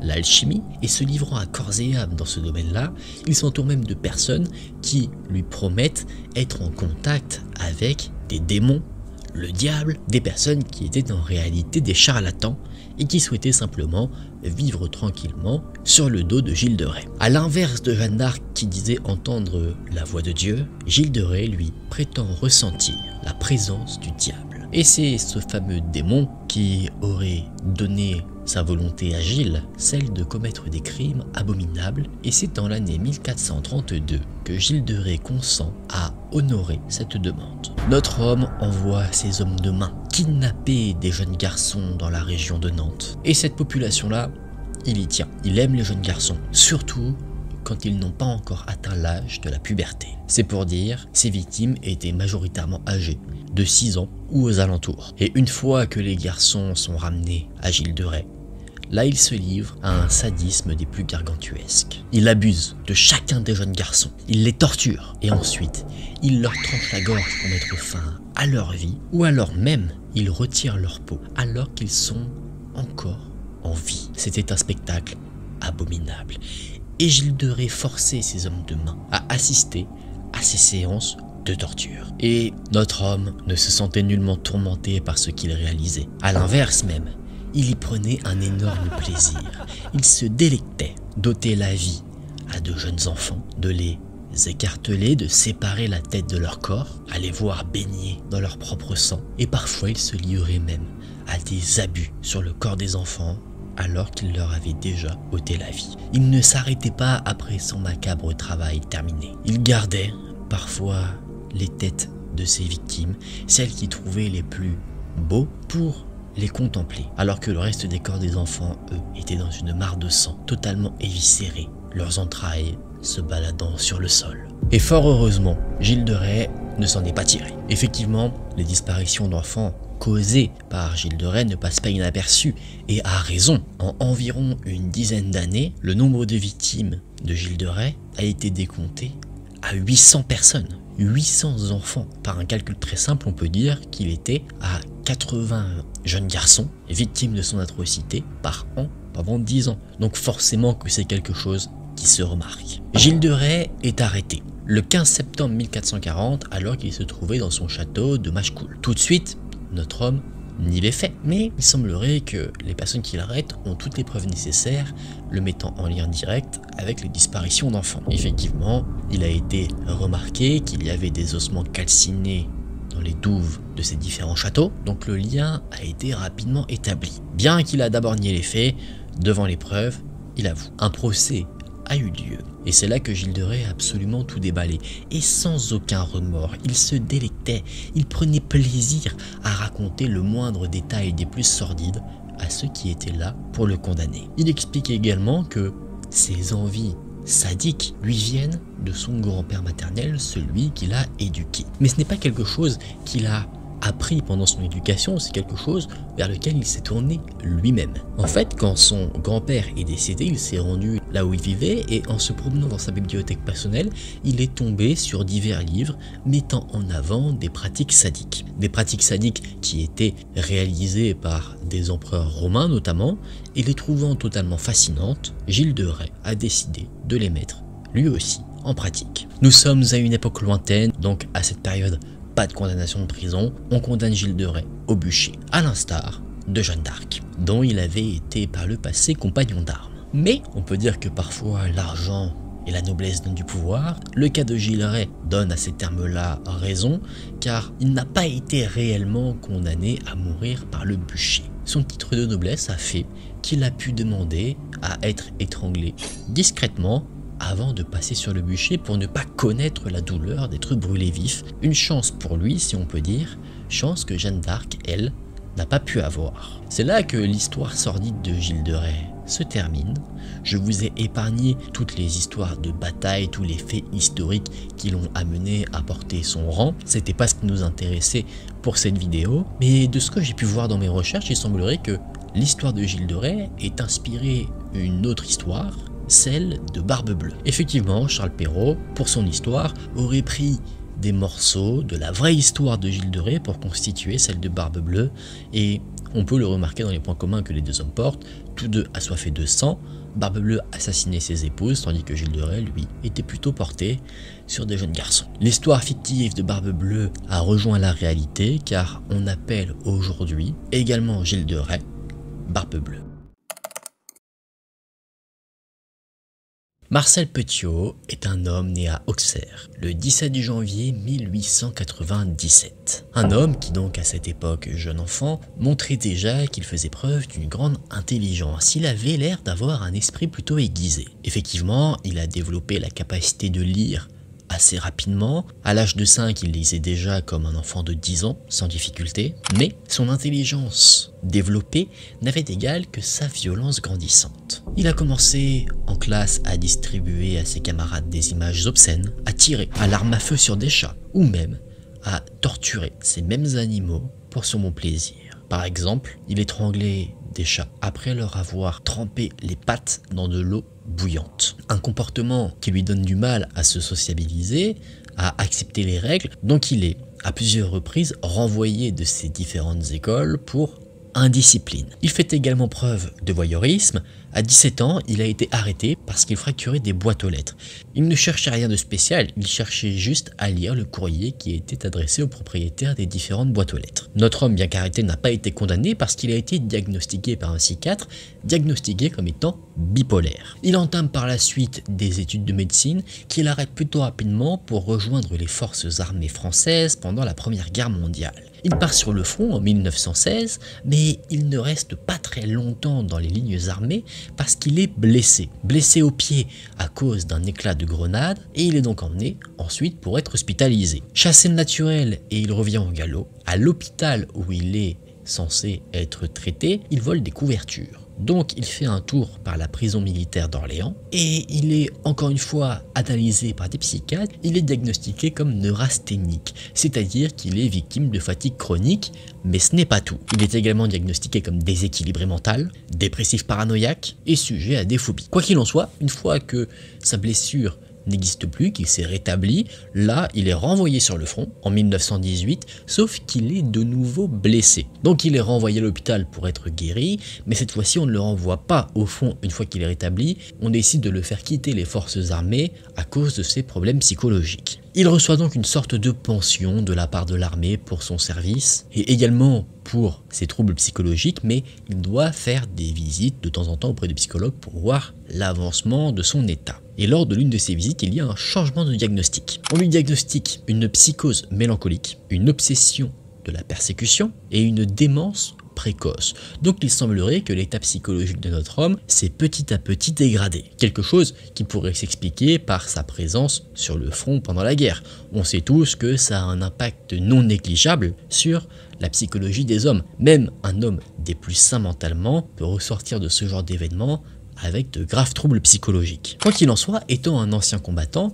il réussit à se réinsérer Effectivement, les anciens combattants ont un accès facilité aux études, donc il décide de reprendre les études qu'il avait arrêtées, des études de médecine. Cette fois-ci, il arrive à finir ses études, il est diplômé de la faculté de médecine de Paris le 15 décembre 1921, donc là la guerre D'ailleurs, il sort de cette faculté avec les honneurs et un an après l'obtention de son diplôme, il décide de créer son propre cabinet médical. Il ne l'ouvre pas à Paris, là où il a obtenu son diplôme, mais dans la ville de Villeneuve-sur-Yonne. Là-bas, il devient rapidement populaire, considéré comme un bon médecin. Mais il ne se fait pas remarquer que pour ses talents médicaux. Effectivement, Marcel Petiot est aussi sujet à de la kleptomanie, c'est-à-dire qu'il a une obsession à voler des choses. La popularité du médecin grandit tellement qu'à un moment donné, il est même élu maire. Sa vie continue plutôt tranquillement. Hein. Il épouse une femme, Georgette Lablé, qui est la fille d'un commerçant qui a son commerce à Paris. Et bien qu'on pourrait penser que malgré les troubles psychologiques,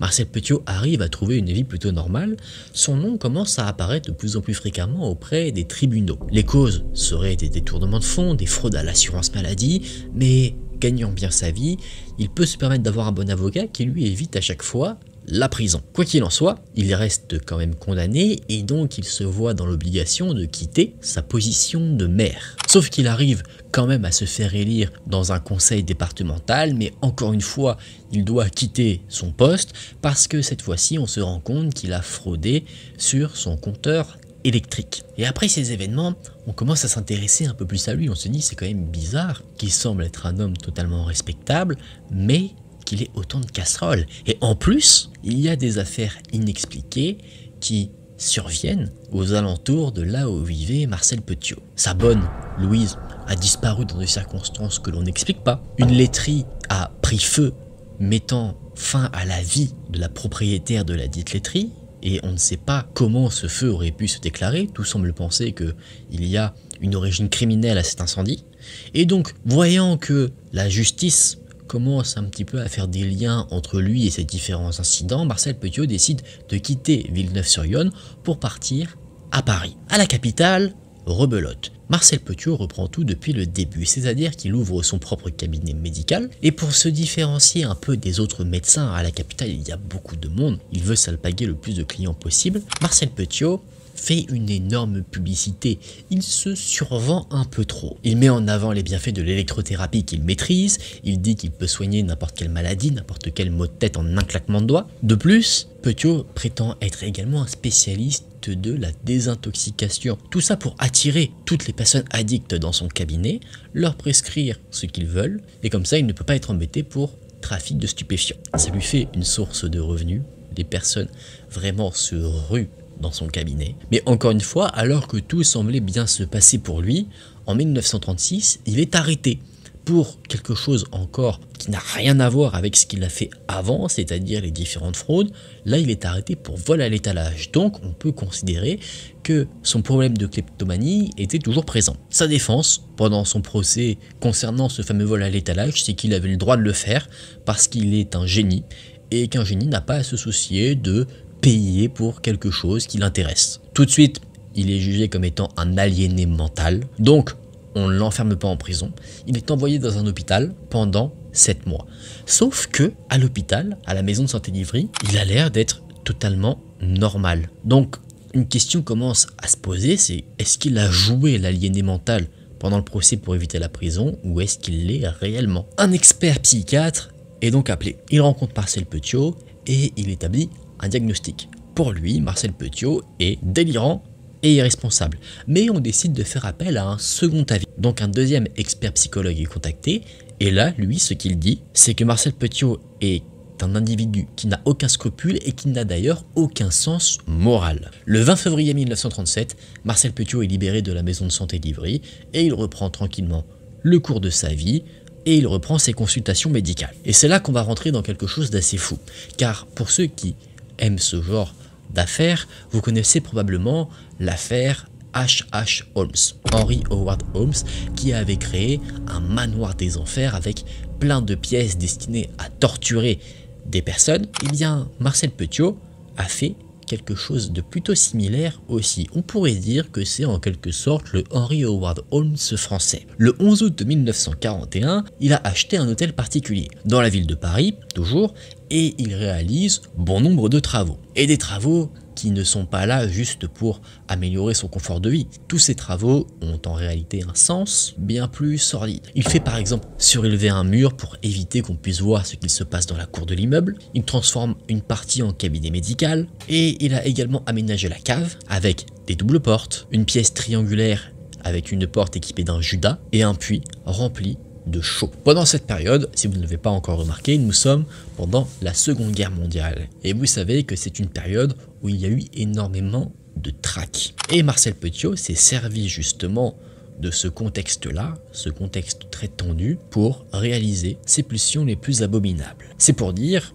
en 1942, il propose de faire un passage clandestin vers l'Argentine à des personnes qui ont peur d'être poursuivies par la Gestapo, la police secrète de l'État allemand à l'époque. Sauf que, évidemment, il ne compte pas du tout aider les personnes qui en ont besoin. Il invite les personnes qui veulent réaliser cette évasion chez lui, de nuit, avec une valise, valise contenant des objets de valeur, des bijoux, de l'argenterie, de l'argent. Et pour en quelque sorte faire passer le message hein, qu'il propose ce genre de passage, il fait appel à un homme, un coiffeur et un musicien pour délivrer un peu son message. Et comme par hasard, plusieurs personnes qui ont voulu partir du pays sont parties, mais pas du pays. Concrètement, Marcel Petiot les a assassinés. La première victime qui a disparu était Joachim Guchino. Lui aurait apporté l'équivalent de 300 000 euros de diamants. Il était venu seul chez Marcel Petiot qui se présentait comme étant le docteur Eugène pour préserver son identité au cas où. Et voyant que sa sordide affaire fonctionnait,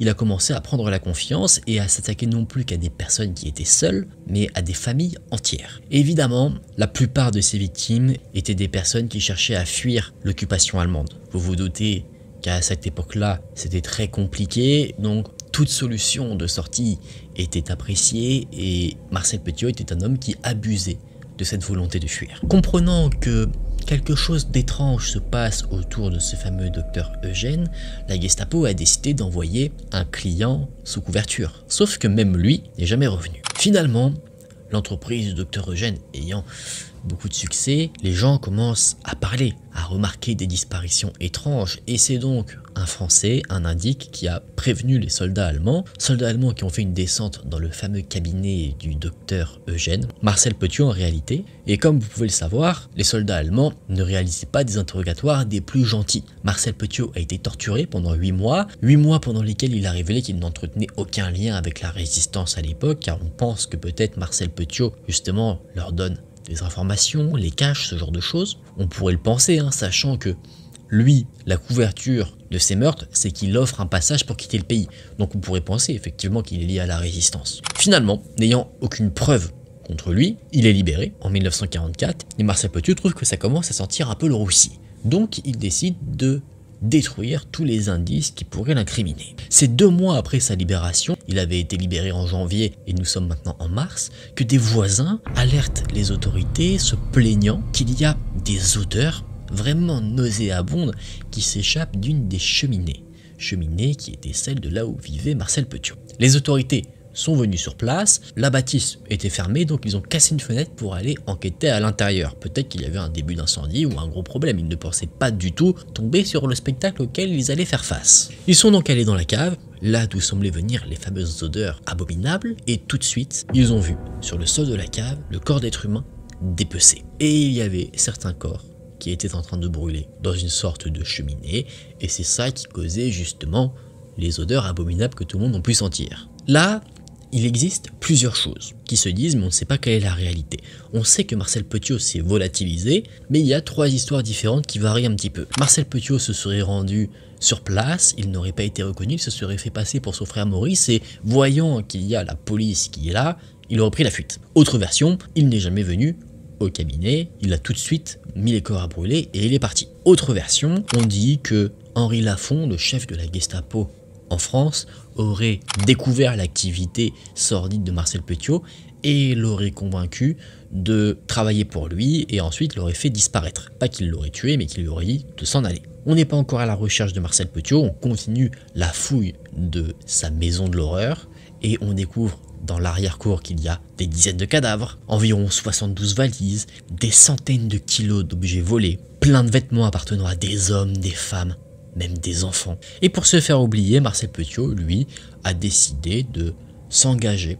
En gros, je vais pas vous faire euh, tout le truc historique, mais dans les forces françaises de l'intérieur, sous un faux nom, celui de capitaine Valéry, et dans ces forces françaises de l'intérieur, en gros, hein, en fait, il a rejoint la résistance. Il arrive à passer un peu entre les mailles du filet jusqu'à la fin de la guerre, et à un moment donné, sachant que Marcel Petiot est quand même recherché, on ne sait pas où il est, un lieutenant des services de renseignement français a une idée c'est de rédiger un article très provocateur visant à détruire la réputation de Marcel Petiot, disant qu'il était en collaboration avec les Allemands pendant la guerre, etc. Et Marcel Petiot a utilisé son droit de réponse, il a rédigé une lettre manuscrite pour répondre justement à cet article qui était loin de faire son éloge.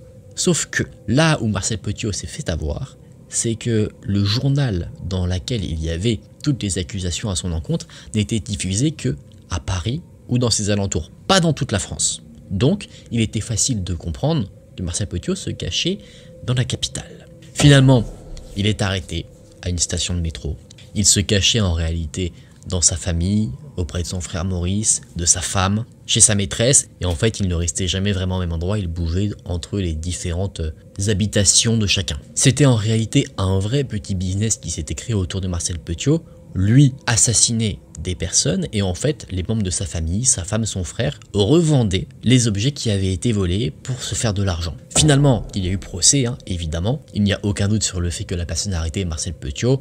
On a comparé son écriture avec celle de la lettre, donc il n'y a vraiment aucun doute là-dessus. Et on lui reproche pendant sa période d'activité morbide, d'avoir commis 27 assassinats. Marcel Petiot, lui, est très narcissique, très égocentrique. C'est-à-dire que lui ne dit pas avoir assassiné 27 personnes, il dit qu'il en a assassiné bien plus, une soixantaine, mais ce ne sont que des Allemands, des collaborateurs, ce genre de choses. Il dit qu'il a fait ce qu'il a fait pour la France. Sauf que les enquêteurs lui mettent quelque chose devant les yeux qu'il ne peut pas expliquer. Ils lui disent pourquoi a-t-il le pyjama d'un enfant s'il a fait tout ce qu'il a fait pour la France? À quel moment assassiner un enfant aurait fait du bien au pays? Et comment est-ce possible également que les corps qu'on a retrouvés, qui ont été identifiés, étaient des personnes qui cherchaient à fuir le régime allemand? Et à cela, Marcel Petiot fait moins le malin. Il ne sait absolument pas comment se défendre. Marcel Petiot fait preuve d'une désinvolture incroyable pendant son procès. Il s'endort même alors qu'on est en train d'exposer les différents faits, et trois experts psychiatres ensemble analysent son cas, car rappelez-vous, on lui a quand même diagnostiqué plusieurs fois des maladies mentales, sauf que les trois se mettent d'accord sur une chose,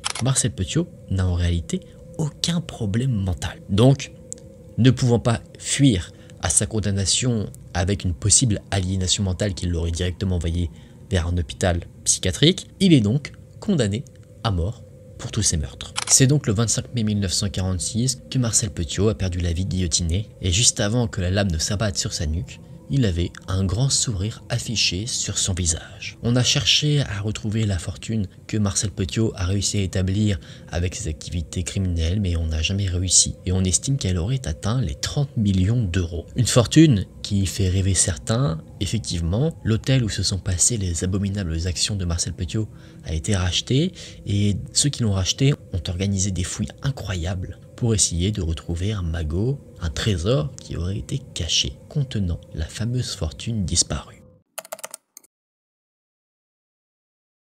Émile Louis est un homme qui est né à Auxerre à la date du 26 janvier 1934. Dès les premiers jours de sa vie, il a été abandonné par sa mère et donc il a été placé dans une famille d'accueil là où il a grandi. Ce n'est qu'à l'âge de 15 ans qu'il a compris, ou en tout cas qu'on lui a dit, que ses parents adoptifs n'étaient pas ses parents biologiques. C'est à ce moment-là qu'on lui a fait la grande révélation. C'était un jeune homme qui n'était pas vraiment calme, qui avait un comportement qui allait à l'encontre des lois, un comportement qui lui a fait passer quelques temps dans un centre de délinquance où là-bas il a été abusé. En 1952, alors qu'il a 18 ans, la majorité, il s'engage dans la Légion étrangère, il participe à la guerre d'Indochine et son rôle est de ramener les morts et les blessés. À la fin de la guerre, il revient au pays et il est décoré pour son service. À son retour, il était âgé de 20 ans et il épouse une femme, Chantal Delagneau, avec qui il a deux filles. Il a également deux fils et la petite famille vit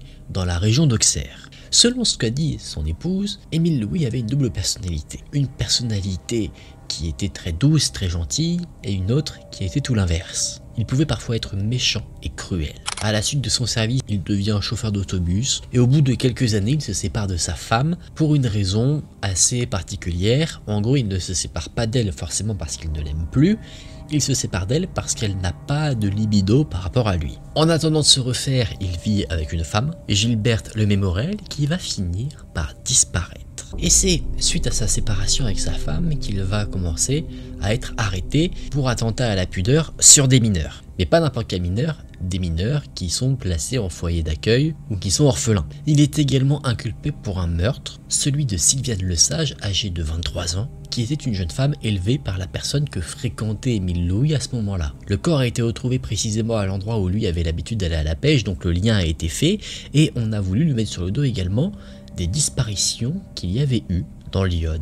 Cette personne avait disparu et étonnamment, ces sept personnes étaient des filles qui prenaient le bus que Émile Louis conduisait. Donc le lien est fait, mais lui dément formellement qu'il l'a impliqué et dans le meurtre et dans les disparitions. Finalement, il n'est que condamné pour une peine de 5 ans pour attentat à la pudeur sur mineur et finalement, il est libéré au bout de 4 ans. En 1989, Émile Louis avait déménagé, il était dans le sud de la France, et il est perpétuellement condamné pour des attentats à la pudeur. Il vivait dans un camping et il essayait de faire des attouchements à des enfants qui se trouvaient sur le terrain voisin. Mais il n'est pas du tout condamné, et pour meurtre, et pour les disparitions de Lyon.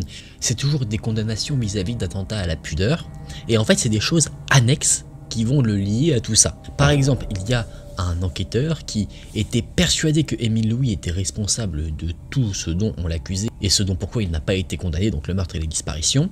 Et tellement mal que personne ne le croyait, suite à son enquête, il s'est donné la mort. Une autre personne, elle, pas du côté de la justice, mais du côté, on va dire, des coupables, a permis justement de faire des liens. En fait, un homme, Pierre Charrier, qui était directeur d'une association pour les handicapés, a été pris en flagrant délit à l'arrière d'une voiture avec une jeune fille. Elle avait 22 ans, elle était handicapée et ce Pierre Charrier essayait d'abuser d'elle. Et cet homme, en plus d'être un agresseur, était également un proche d'Émile Louis. Donc Émile Louis avait en fait un lien avec justement ce système, le système de la protection de l'enfance. En plus de ça, il était également famille d'accueil, parfois employé par des établissements qui était en lien avec la protection de l'enfance, et il semblerait que justement toutes ces victimes aient également un lien avec ce système. Ces victimes privilégiées étaient donc en fait des personnes qui étaient des enfants de la protection de l'enfance. Et c'est tout un mouvement en fait autour des fameuses disparitions de Lyon qui ont permis de mettre en avant le fait que Émile Louis en fait était impliqué. Il y a eu beaucoup de bruit, de la médiatisation, et tout ça a permis de remettre cette affaire de disparition sur le devant de la scène. Donc finalement, acculé, Émile Louis a été placé en garde à vue suite à un aveu, celui où il dit qu'il est bien à l'origine des fameuses disparitions de Lyon.